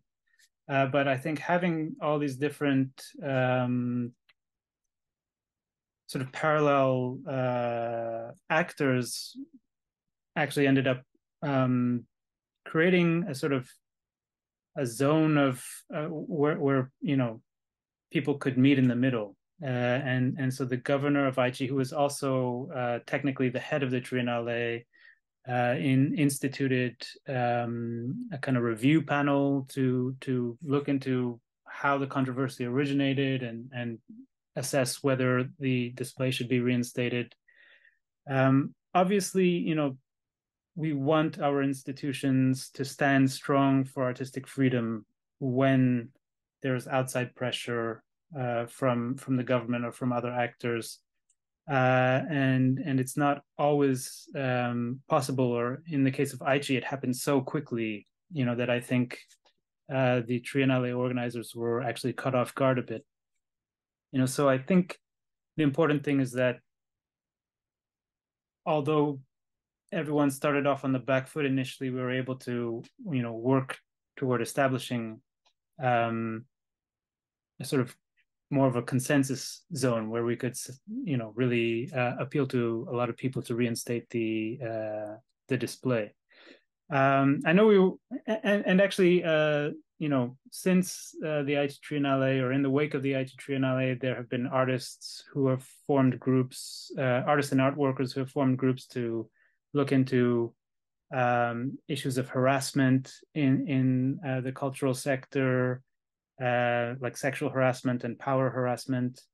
Uh, there have been various artist unions that have formed uh, to to sort of support each other and and um, both economically and in terms of uh, kind of restoring a balance with institutions in terms of this sort of uh, precarious uh, work status that Sarah mentioned in her presentation.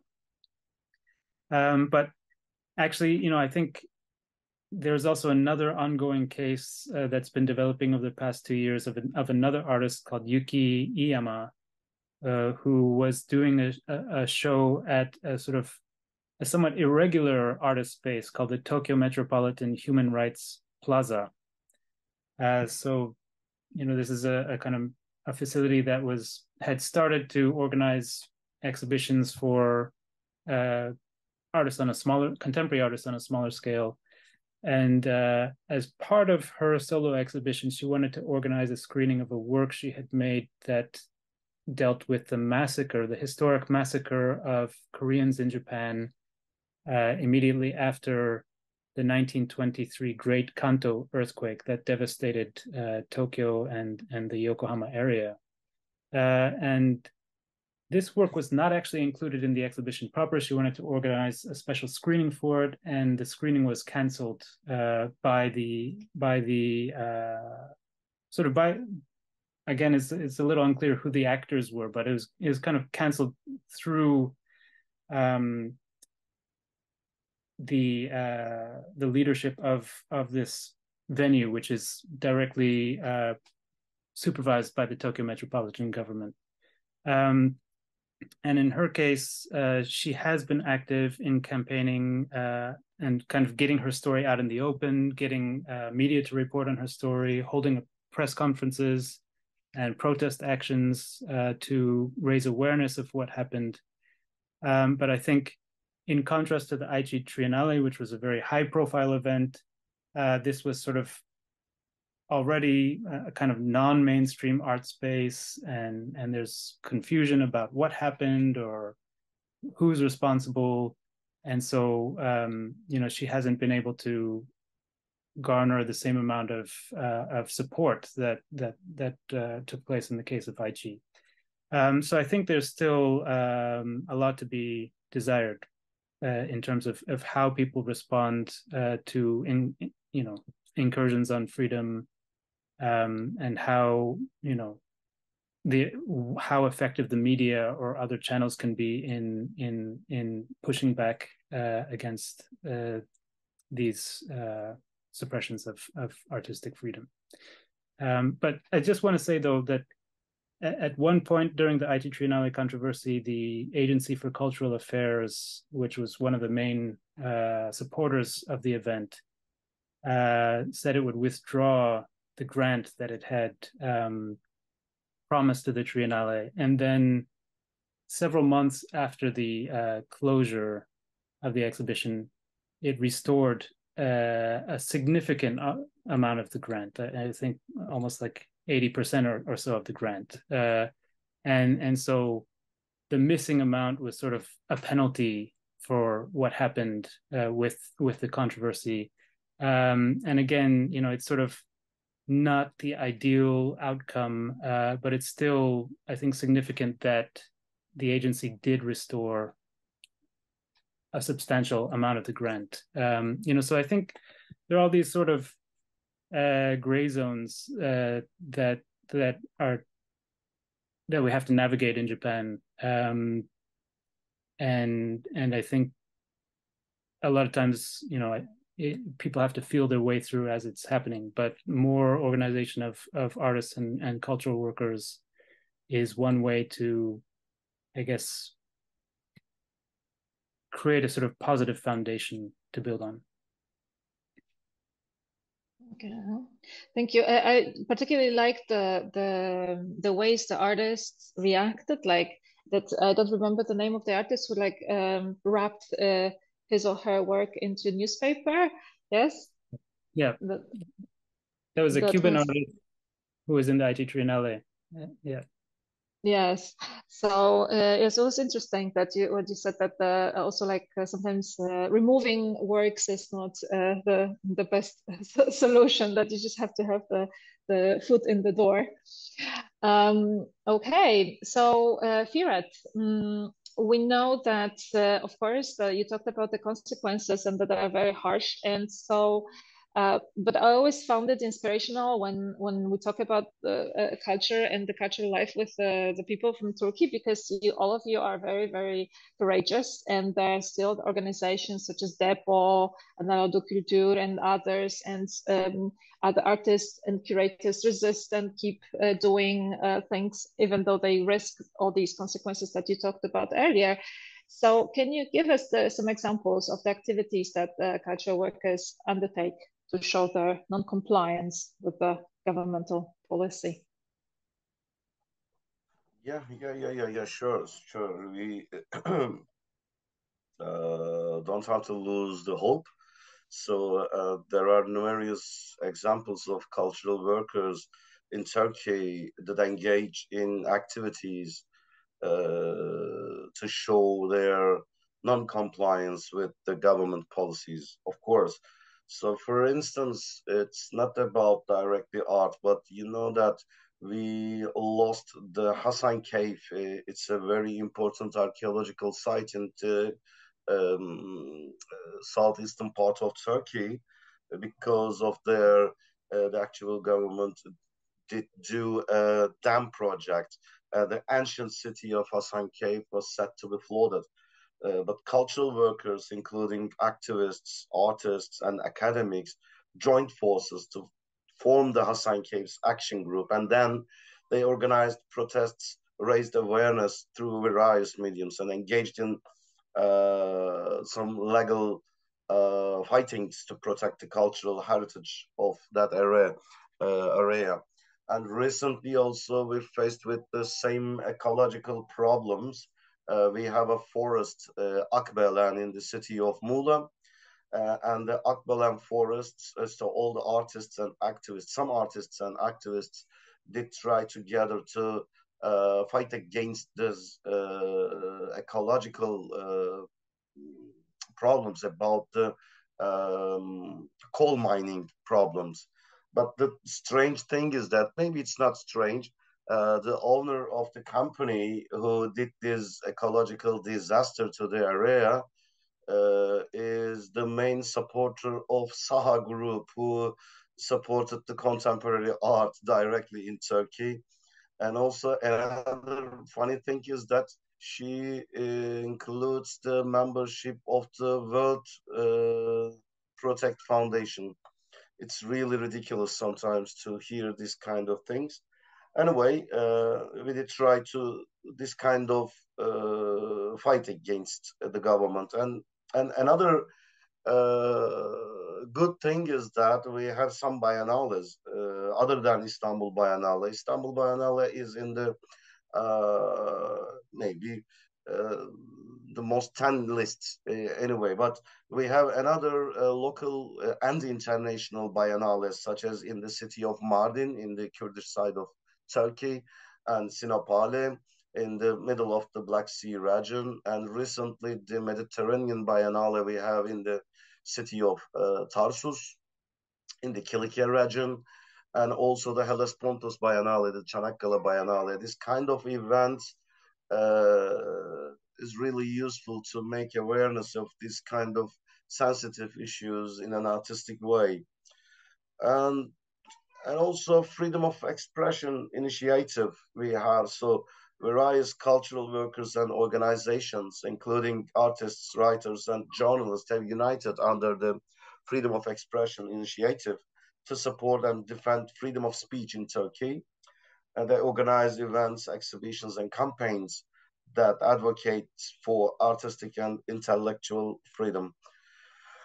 And also, uh, gradually we lost our effect maybe in the academies, but once uh, the solidarity with Academics for Peace case we uh, confronted, maybe you remember, after a petition calling for peace in the Kurdish majority areas of Turkey was signed by thousands of academics, but many signatories faced persecution and dismissal from their positions.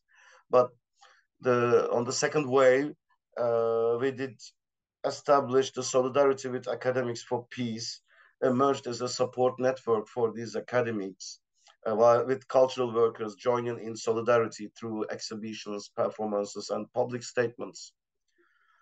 And also the actual governments don't like uh, the uh, cartoons, the humor. So uh, satire has always played a significant role in Turkey's cultural landscape, even before this government.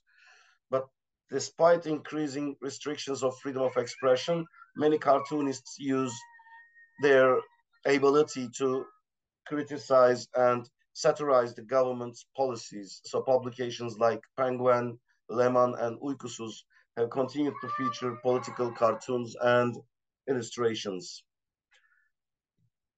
And also, of course, we have a uh, we have a great opportunity to do exhibitions.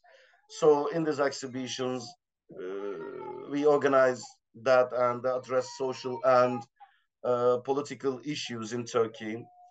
Um, often we did try to tackling subjects that are considered sensitive and controversial by the government as well.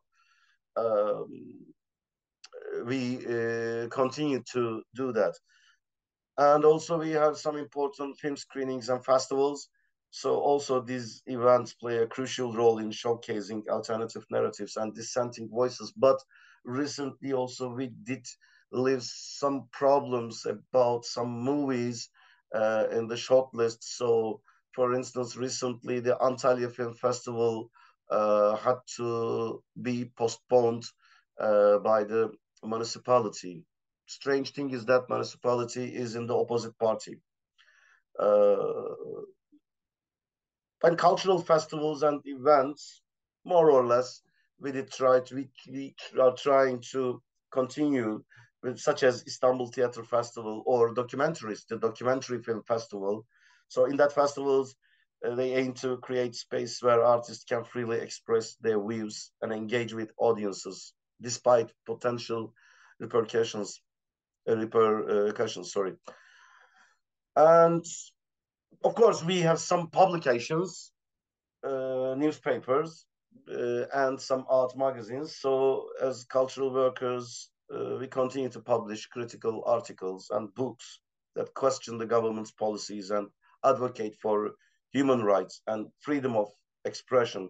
Some independent publishing houses we have, so they provide us platforms for uh, express our ideas and promote uh, our thoughts against uh, the government.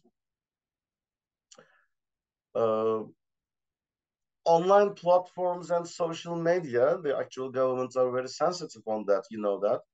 Uh, but given the restrictions on traditional media, because I told, so actual governments did create a pro media too much. Uh, so we have turned to online platforms and social media sometimes to share our work and express our content. Uh, so we, so you can find many uh, accounts on Twitter and Instagram and YouTube as well. Uh, according to the constitution, there is no need to take a permission if you want to do some demonstrations and protests. But actual government did use this uh, law uh, in a wrong way, but uh, we continue to participate in public demonstrations and protests as well, both independently or in collaboration with some uh, activist groups as well. So, uh, as I told, uh, no need to lose our hope. So we have to continue to struggle um, in Turkey uh, for that. Thank you. Thank you. And if there is anything we can do uh, for Turkey, let us know, uh, because obviously um, we are on your side. You are not walking alone. Um, just a small technical thing, like if uh, anybody would like to ask, like anybody from our participants would like to uh, ask any question, then it's going to be possible after, so you can either speak up or uh, you can write it on the chat, uh, however, uh, which way you prefer. Okay, so um, um, when we um, had our controver controversial change in the National Gallery Zachęta in Warsaw, um, and it's you know like the, the director now is like a disaster uh, painter. Some people then were uh, considering the occupation of the National Gallery, uh, and it was based on the experience of the Occupy Ludwig movement. And uh, finally, no one took it up because it was winter and it was like a Christmas and New Year's Eve uh, period, and they were afraid that it's not going to be effective. But so, could you please tell me about any initiatives um, against the the policy of Orban, and uh, also, of course, I mean the Off Biennale. Thank you. Yeah, actually, there are quite a few, um, and I think this is a pretty important part of the discussion because we're talking about the the infrastructure of dissent here, as as it was called by sociologist Alan Sears. I I particularly like this expression because it it somehow um, emphasizes its, its importance and also the position and also the fragility of uh, of these uh, kind of uh, structures. Um, obviously, the picture is not that black and white in Hungary as it might seem. There are still small institutions, grassroots initiatives that mostly remain invisible for the government, for the authorities, and therefore untouched as well, more or less. and there are obviously cities under opposition leadership, like Budapest, the capital.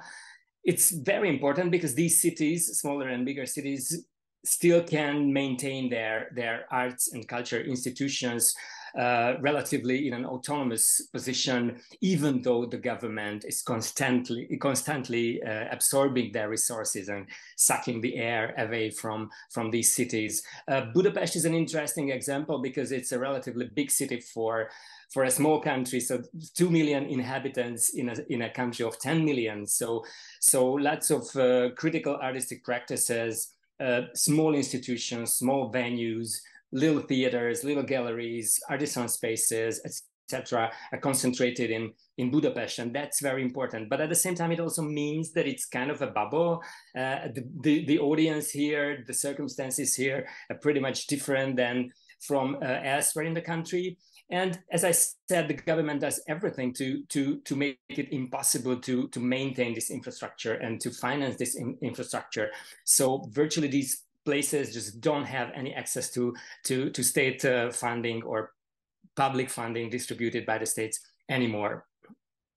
What is interesting um, is that almost from the first minute after 2010, a kind of artistic resistance developed here in the country uh, at least uh, in the visual art scene, which is quite interesting because we don't really have this kind of uh, political activist art tradition in the Hungarian uh, history of art. So a new kind of a new wave of, uh, of political consciousness and, and activism just emerged after 2010.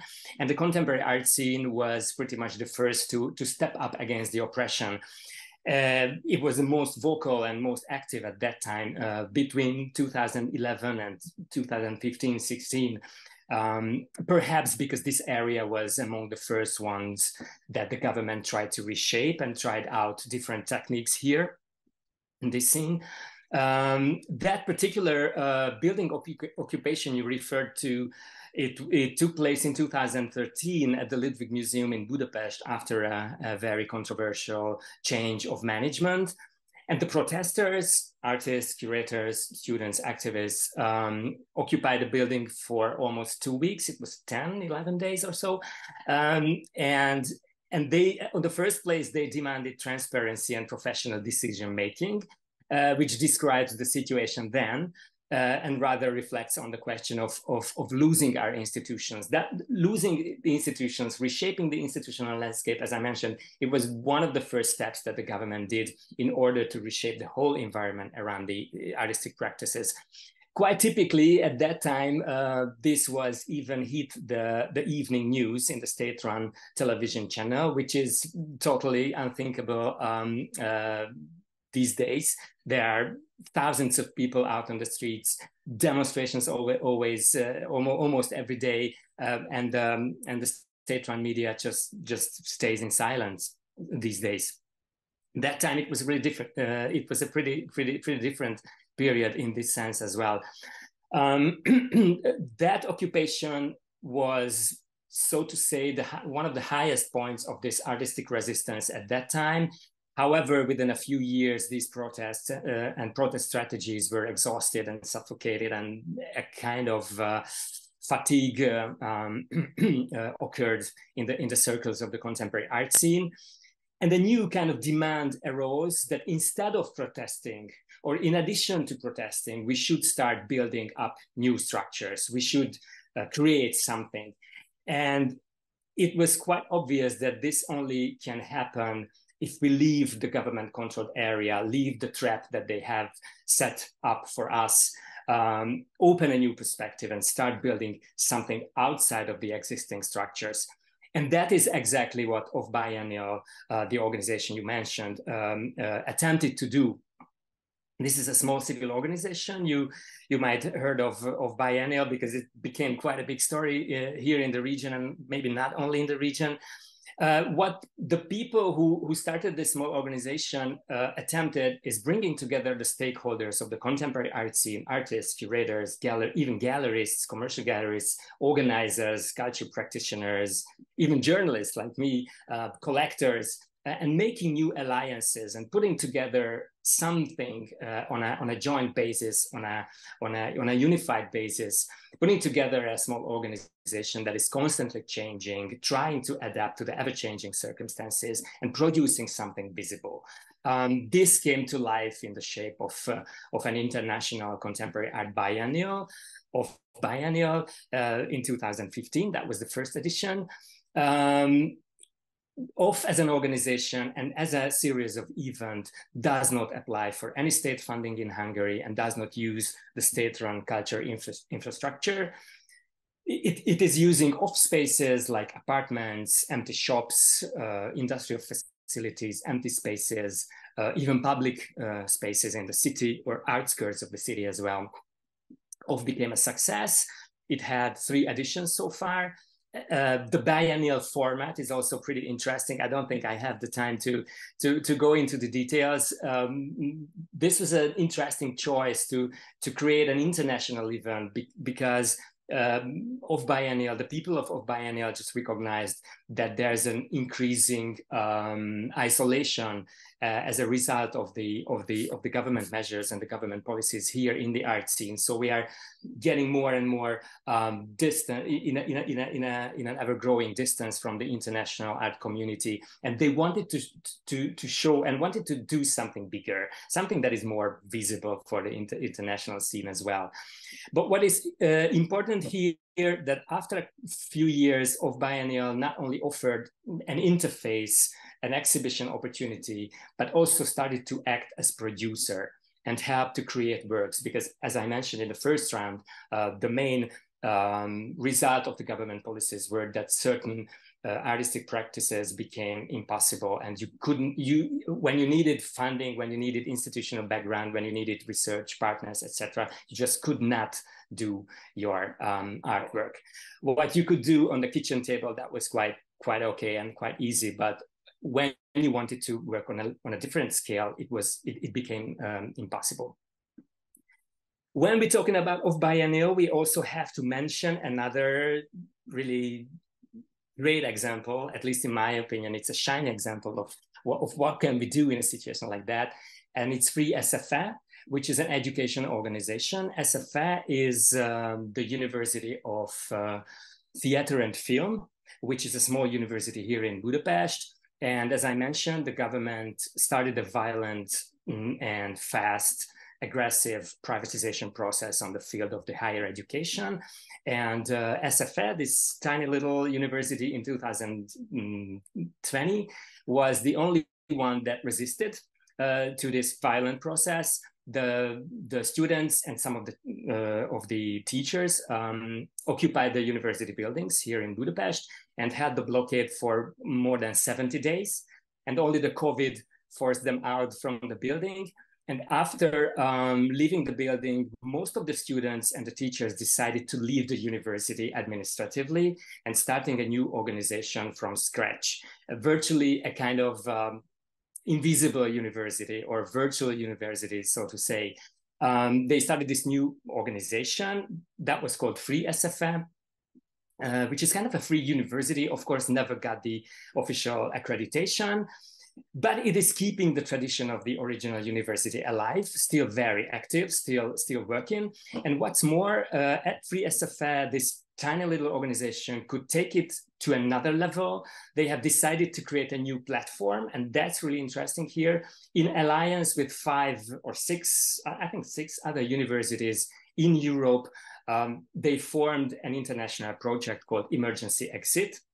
Um, and the students of Free SFA are awarded degrees, diplomas by these foreign universities. So they are studying here and they get their diplomas elsewhere.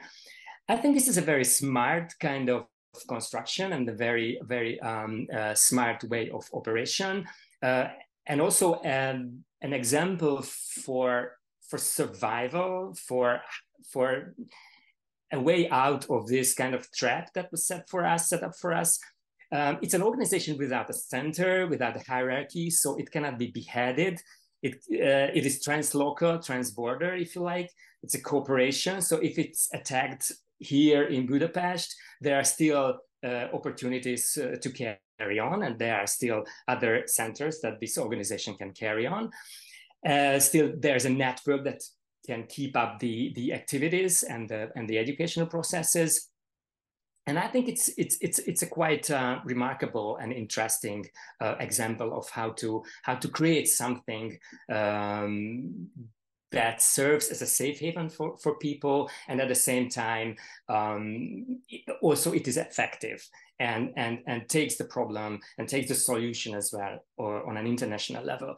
Of course and that's maybe the last point here for me uh, the big question here uh, regarding this example is sustainability. And therefore, it would be very useful if big organizations and big funders, big funds, even the European Union could properly identify these uh, initiatives, these structures, uh, and could provide direct financial contributions to them. Uh, culture is is in the national competence in the in the European Union. That's that's one of the problems. Uh, that's that's what the Orban government is using because the European Union just does not have a word how they distribute uh, public funding for the culture. Um, that it would be nice to to sort of channeling direct direct fun, uh, financial help to these to these organizations which keep up the spirit here in this country and maybe maybe there are um, same examples elsewhere. Okay, thank you. Yes, this is very impressive. I, I don't think the this is like very unique. I think the the example of the academia, yeah, of the academic world, the self-organization, because this is really really um, courageous uh, move, yeah, and the yeah, and everywhere else, I think like uh, we resist, but silently. I think more than uh, openly. Uh, they, were, they, they, were vocal. They were very, very strong, and they organized big, big demonstrations. I mean, the, the students of uh, Academy of Film and Theater, because you know they they are dealing with uh, with with theater and films. so they were very smart in organizing these huge uh, mass demonstrations. Obviously, the pro, uh, privatization process occurred and it, it, went on, so they could not uh, break it, but they they could start a new page they they could they could leave the trap they could leave out they could flip the script if you like and start something new. And and i think that's remarkable here. Sorry for, mm-hmm. for yes.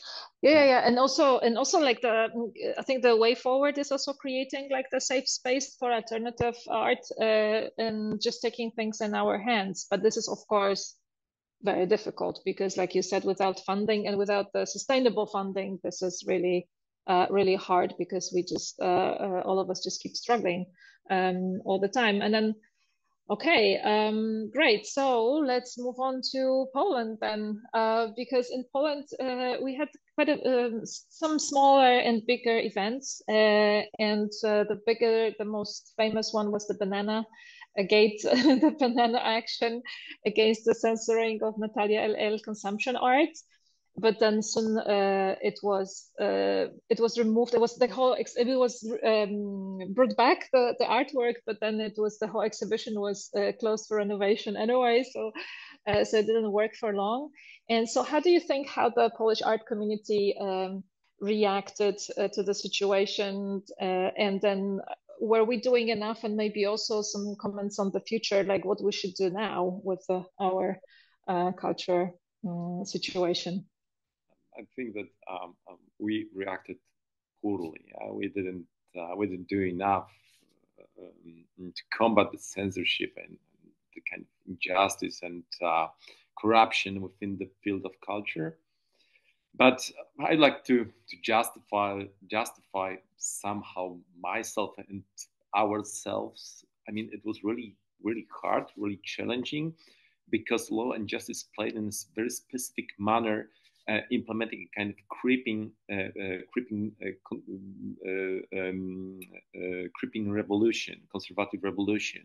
So, um, um, mm, and what what's important, they, they did it with with the support of majority of voters. I mean, it's really important to, to uh, stress that they won two consecutive uh, two consecutive um, elections. So it wasn't just, you know, like a, a kind of uh, authoritarian system imposed from some some somewhere. Yeah, it was actually the decision of our our society. But um, um, over long, very long uh, eight years, um, they seldom undertook um, spectacular, large-scale violent actions employing rather um, a, a, strategy of small steps.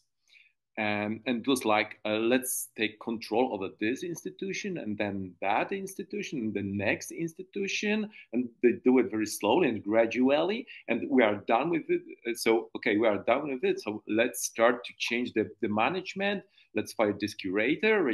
Let's change this director. So it wasn't, you know, like, like a huge punch uh, uh, against our uh, our community, but was like lots of small steps uh, which were carried out over over almost eight years, and um, um, mm, all this made really difficult to mobilize mobilize our our community to to uh, resist this kind of uh, crawling, uh, creeping uh, oppression and um, actually we weren't uh, united enough and we didn't play together.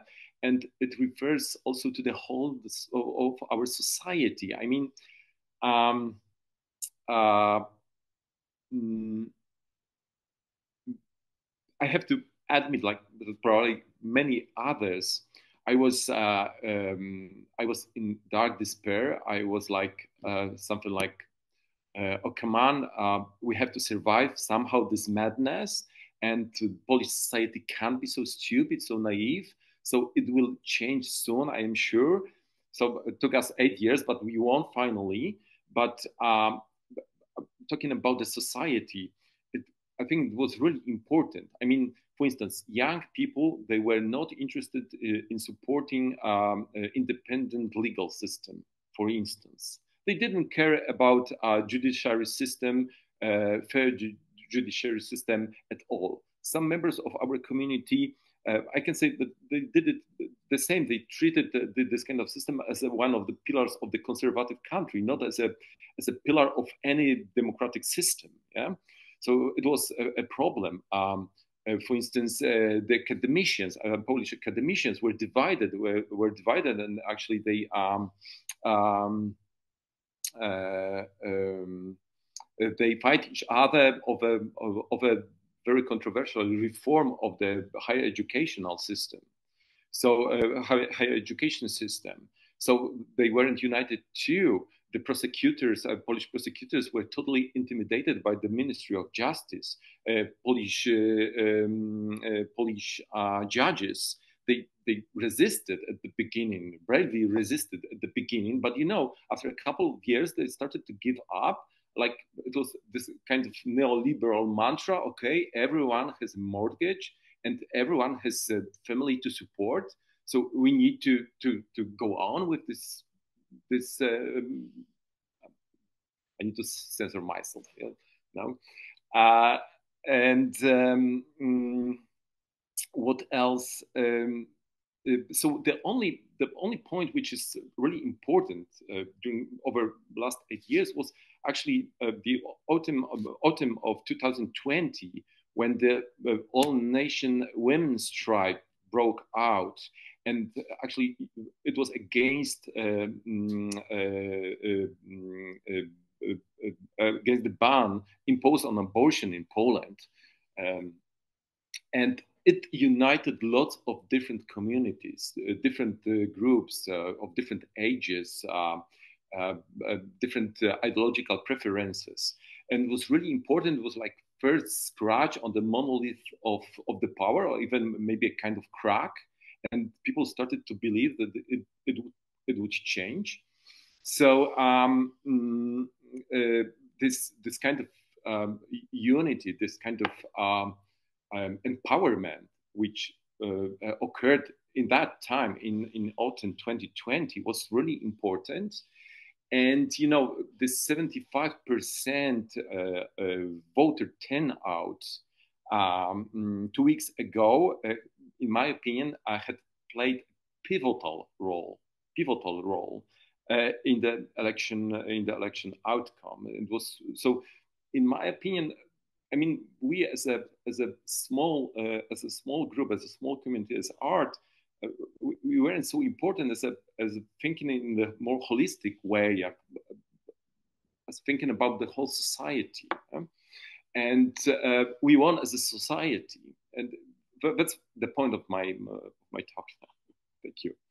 Thank you. But um, well, yes, uh, I think I also agree that the, the protests of 2020 uh, were really crucial because um, I remember then what the anti anti-ban, anti-abortion ban uh, protests were not nothing new because the, we had uh, we've been protesting since 2017. But I remember that, or 16 even. Uh, but I remember that, for example, when I was working in the academia, the students were not interested in it. So like the all the teachers were going to protest, but yeah. the students were like saying like, "What protest?" But then in 2020, I think I think also pandemic helped us because yeah. people were locked in in, in, their houses and they just wanted to go out and they just were looking for a pretext to go out. And uh, and yes, it was really massive. Also, lots of students were in the in the towns, small towns, villages, and they organized, you know, all the, the protests. So it was like you know very uh, uh all over. I mean, like uh, uh spread all over the country. So it wasn't just Poznan, Warsaw, Krakow, Gdańsk, or something like that, but also small towns protested against this government. And it was really important, and it triggered, I think, it triggered uh, uh, the, the, the change. Yes, and then, then when they when the young people, even those that were still in the under voting age, but they were chanting "fuck yeah. PiS," and then so they didn't forget it for three years, you yeah. know. So like it would be very stupid for them now to vote for something that were they were uh, uh, chanting against. Uh, so it was very very uh, important, and also like the mobilization of women um, that really went to vote because if not for women, we would be still in the same um, fascism that we had. Sorry.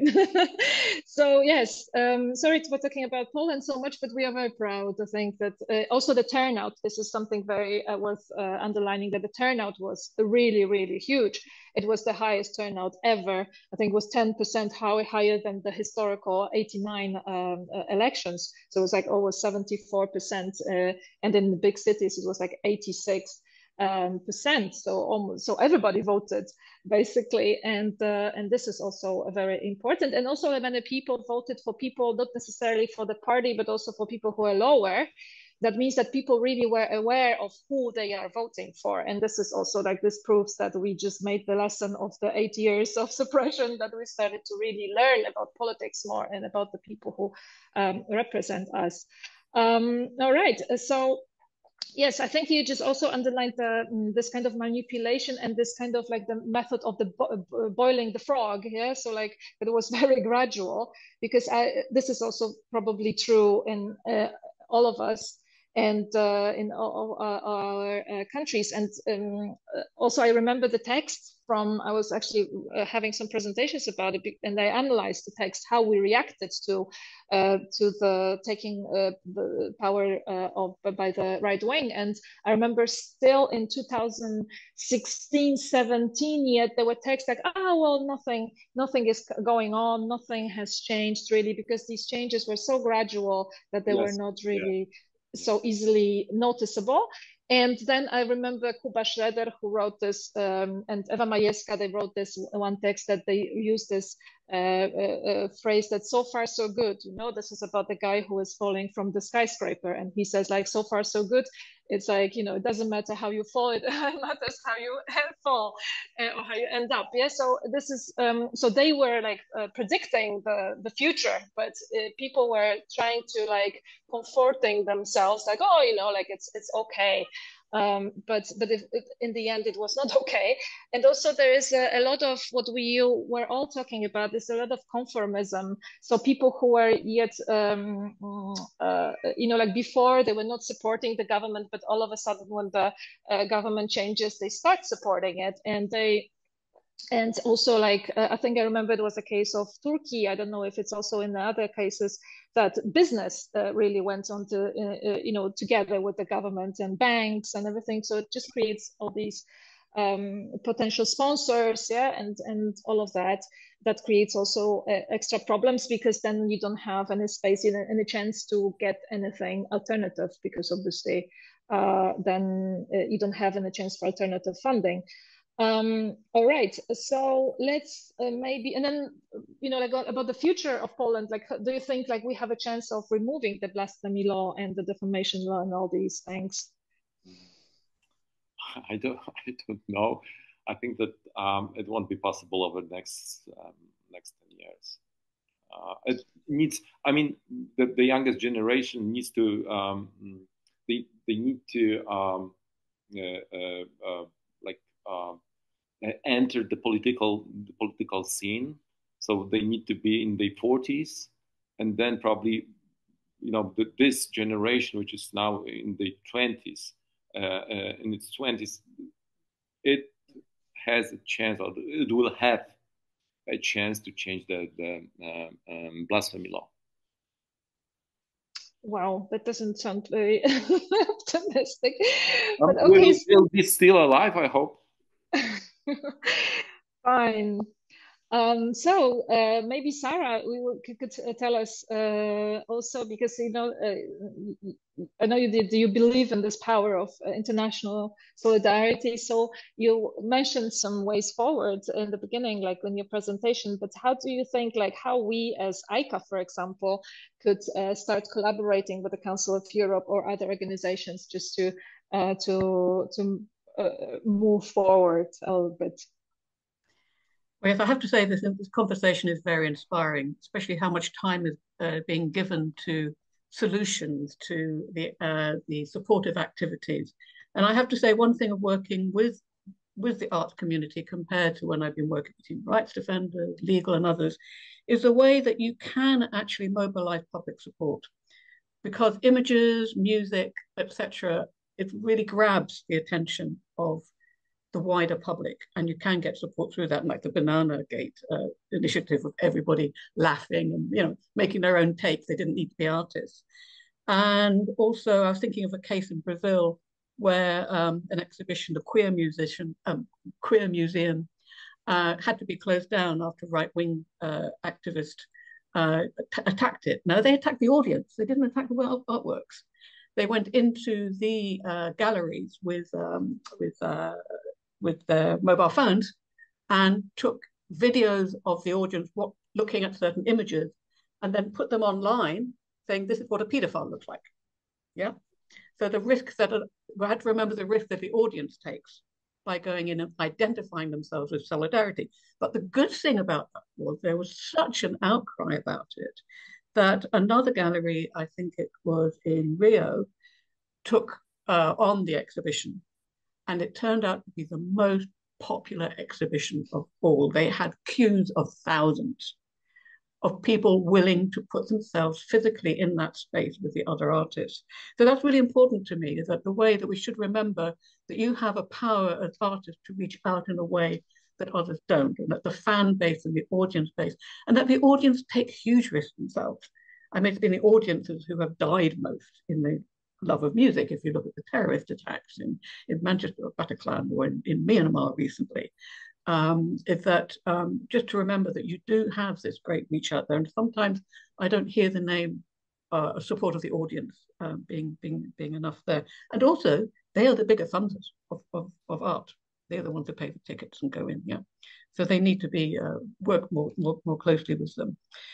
I think it's really important to have a place where we can exchange these ideas and initiatives not just moan. and one of the initiatives that's coming out of which I should be recommending to the Council of Europe as a result of my discussion with all of you is to find a way that these institutions can support platforms and places of exchange. Now, many of these organizations, like the Council of Europe, you'll remember that I cannot name and shame when I'm writing a report, which is very interesting. Um, but at least we're looking at, at, at solutions. There are mechanisms such as the United Nations Special Rapporteur on Culture, who, uh, who has been focusing on different ex, uh, aspects of cultural rights, early on on freedom of artistic expression, also other areas, teaching of history, etc. And I think, and I'll check, but I think she is about to make a call for um, uh, uh, reports and inclusion on academic freedom. I will do that and I'll let you know if, if I'm right and we can get the contact for her. They actively invite um, uh, information from civil society organizations and others because one has to remember that even though these are big institutions, for instance, the Special Rapporteur on Culture has, uh, she's a volunteer, she's a professor of law uh, in Brunel in London, and has one and a half staff. So they're reliant on you feeding them, and also to, but also to be, uh, to have an understanding what they need. A whole other bigger top, topic. So definitely, um, these institutions are incredibly frustrating to work with, but when you can find or supporters, as we have done, the Council of Europe and some aspects of the UN. Um, I think the idea of funding for the safe space, emergency exit, other kind of initiatives um, is really important. Um, they're more likely to come from the funders, maybe from the EU, but also there are the uh, big funders like in Sweden, you've got the Swedish uh, International Development Association and others um, who might be might feel less politically constrained that sometimes there is a problem. I know the Council of Europe will not fund uh, a project which is seen to be anti one of their member states. Yeah, very interesting to work with that. But um, yeah, I have to say this is really for me to have a place where we can share these ideas and to find out that they're across, they're not just in Europe or they're not just in Iran or Japan, and I've seen some similar um, comments as you've made here from uh, northern Iraq, for instance. So it'd be really nice to have that and to have this place to share in person, in paper, whatever. And that's maybe something that we could go to the EU or other institutional funders for, because they do like to see solution-oriented actions and and, and, and to find a way of supporting them. So this has been a fantastic discussion. So thank you, Margareta. Thank you. Uh, yes, well, so um, now I think I would like to open the, the discussion and then we have the question for William Messer. Mm, are not art critics writers also experiencing censorship and control? What role do you all think that art critics should play in the resistance and protection of artistic freedom? Who would like to answer this question? I can go first. Um, you know, I I don't I haven't myself experienced an, any kind of censorship uh, or control directly, but uh, when the Aichi Triennale 2019 controversy happened, uh, I, and I wrote about the controversy within the first two weeks um, of of its spilling out into the public. I was definitely aware that um, you know because so much of the harassment campaign had been happening online. I was very, very much aware that I could be subjected to um, you know harassment or doxing uh, or other forms of um, sort of uh, um, you know quasi violence or or, or uh, psychological violence. Um, so you know I think definitely when we write uh, we we we do have to um, sort of face up to that and uh, and I think it's important to follow one's principles or follow one's ethics in, in uh, writing. I've also been in cases more in, in, organizational situations where you know I've I've spoken up critically uh, for issues like gender balance, uh, for example, where you know I knew it was an unpopular opinion and and there could be repercussions, uh, but it was just something that I felt strongly about. Um, you know, and I think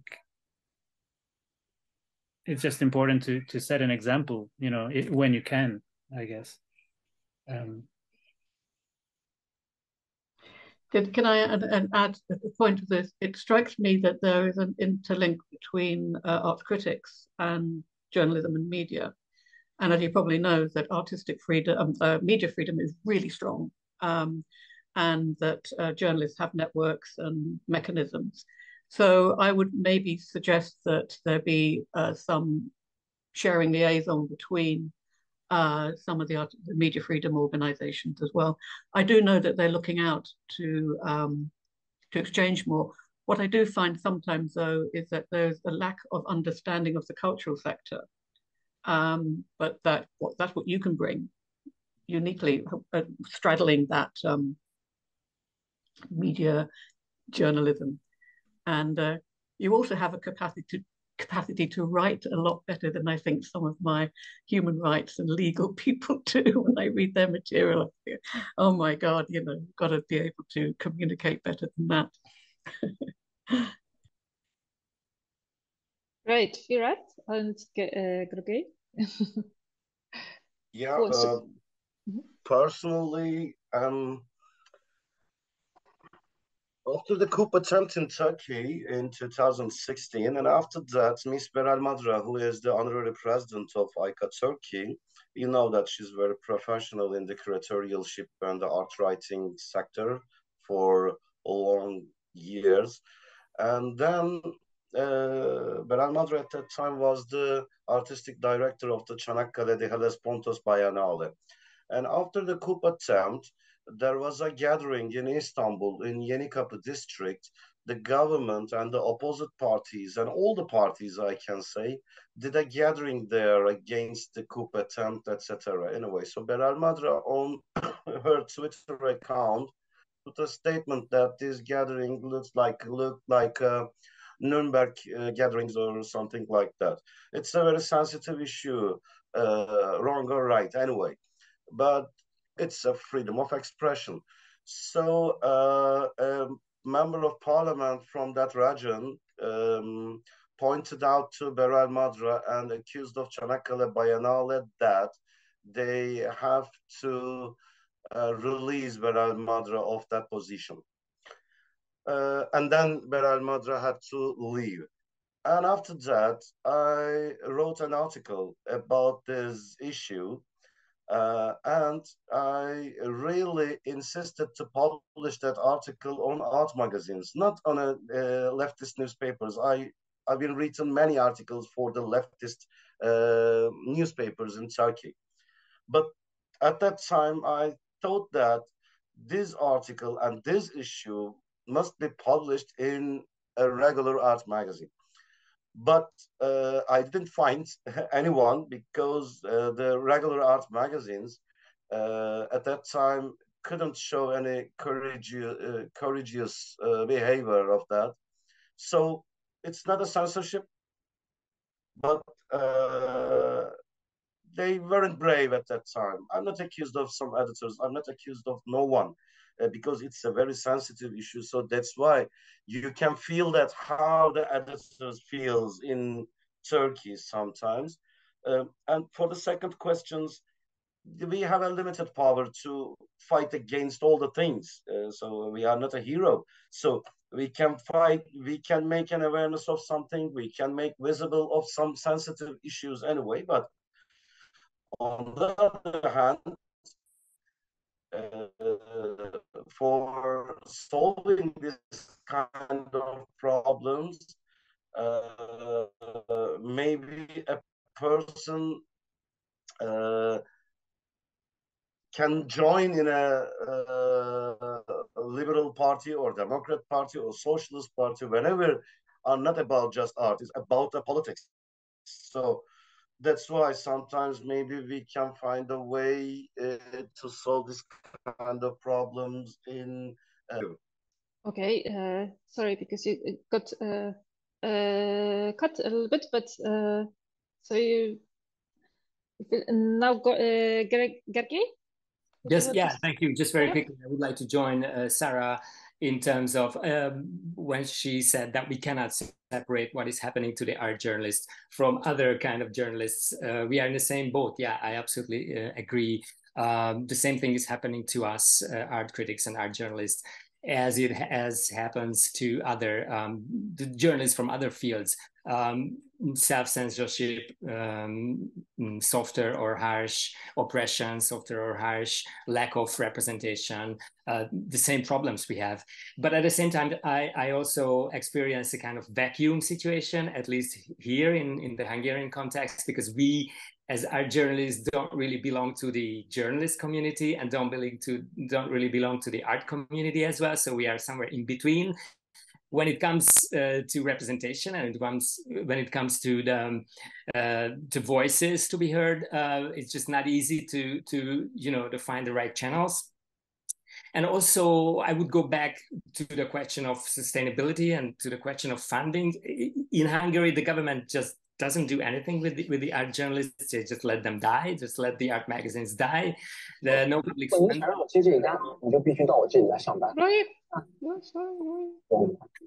Um, we had we had four major uh, art magazines here in the country, print and online, and only one is active right at, at this moment, and one went was downgraded under and became a subsection of a culture section somewhere. Um, and it goes back to, to, to the question of funding. The only one that survives can only survive because they made compromises and they accepted money from the MMA, from the Hungarian Academy of Art, you know, and therefore they do not write about the political context, about the institutional context. They try, try to concentrate on the so-called autonomous art, which is obviously just not autonomous anymore. Um, so if you don't touch upon certain subjects, you can survive, but otherwise it is very hard to maintain these fragile st structures, even for, for bigger publishing companies. Okay, thank you. Jakub, would you like to uh, add something? Um, I, I, just, I, I, can just repeat uh, what uh, Gergely said. That uh, in terms of uh, in terms of uh, our journalists, the most dangerous pressure um, comes from the economic field. I mean, from sponsor grant donors and advertisers, and this is very very tricky situation uh, tricky situation and um, actually really really hard to to um, uh, to track down to expose and to show how it works. Yeah so so that's the main problem in case of Poland uh, for instance uh, with, with our journalists Mm -hmm. Well, I think also the, the problem is the shrinking space for art criticism uh, in general, because in everyday newspapers, yes, because it's just dying out, absolutely.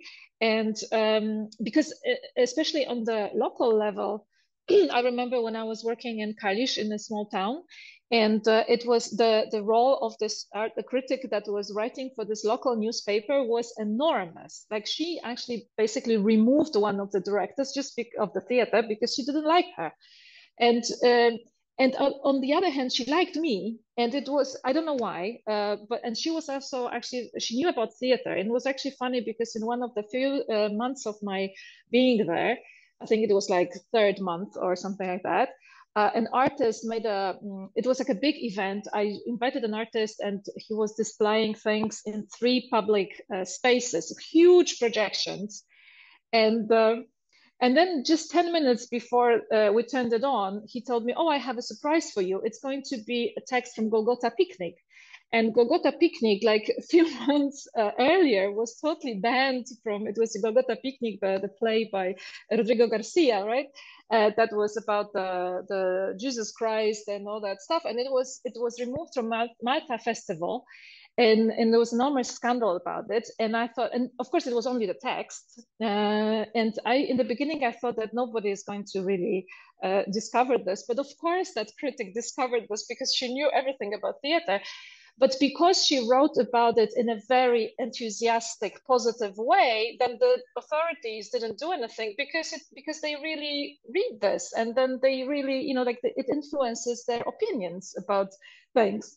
Um, so in a way, uh, so this is also so while we, we when we remove these uh, people from newspapers, everyday newspapers, also there is nothing to um, really there's nobody to support us yeah in this uh, especially and i'm talking about small um, small uh, places because now we were concentrating now on budapest warsaw you know like big cities but of course the culture is comprises of all these small uh, um, uh, towns and galleries that uh, also create the uh, the whole situation. All right.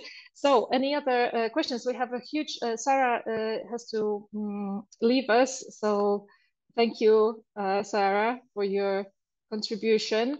And there's only, um, we probably will meet again soon. And um, we have uh, we have a comment from Niilofur. Uh, thank you for this very important discussion. As I invite you to join the AICA Freedom of Expression Committee, it can greatly benefit from your experience and make it effective. This will give us another global platform. Many of the censorship experience resonate with that we are coping with in Pakistan. Uh, political actors here are particularly sensitive to art that creates dialogue. Uh, sorry, I, I skipped it. Uh, creates dialogue opportunities in the public space. This makes them feel very threatened. In this context, the Karachi Biennale was founded to instrumentalize art to unite a fractured society after extreme violence in our city. Uh, Karachi Biennale largely works under the radar to navigate the hostile environment. We push the envelope with critical awareness of national issues. And uh, Niilofur uh, became the head of the censorship committee. So of course, uh, we are going to uh, cooperate. And we have a question with, uh, from Chicago. Uh, Lida, what do you think about autonomy of curators and exhibition organizers protecting and securing freedom of expression of artists could even violate such rights of, for curators and organizers? I feel that there is a kind of a contradiction, although I think that both ends should have co-authorship. Well, uh, it's a very, it's a huge point. So we have to discuss it another, another time, I think. But uh, recently, maybe you heard that, as I told in my speech. So that's why I pointed out to not just the governments, uh, about the private organizations or even foundations. Because lastly, maybe you heard that the uh, advisory board of the Istanbul Biennale appointed a curator advice, let's say, uh, as um, Defne Ayaz.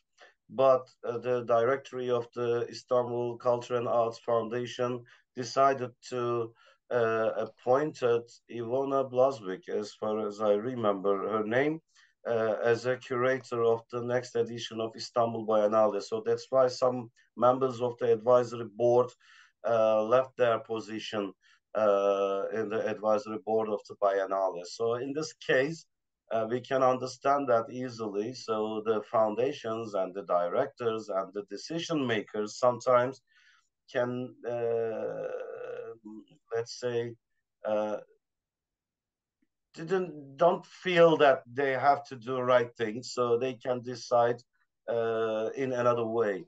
Uh, and also uh, for the curators, sometimes yes, maybe I can agree with the uh, questions. Maybe we can discuss about the autonomy of curators and exhibition organizers in next time.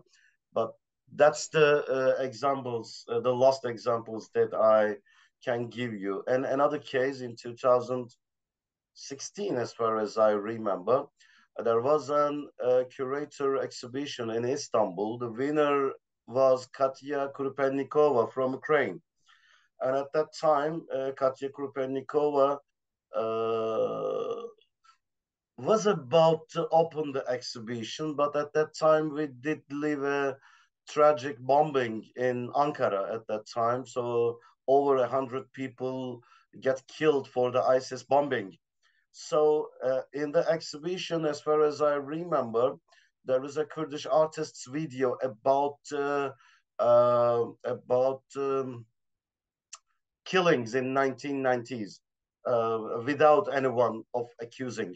Uh, so uh, the director of the Akbank Sanat uh, canceled the exhibition in just one day.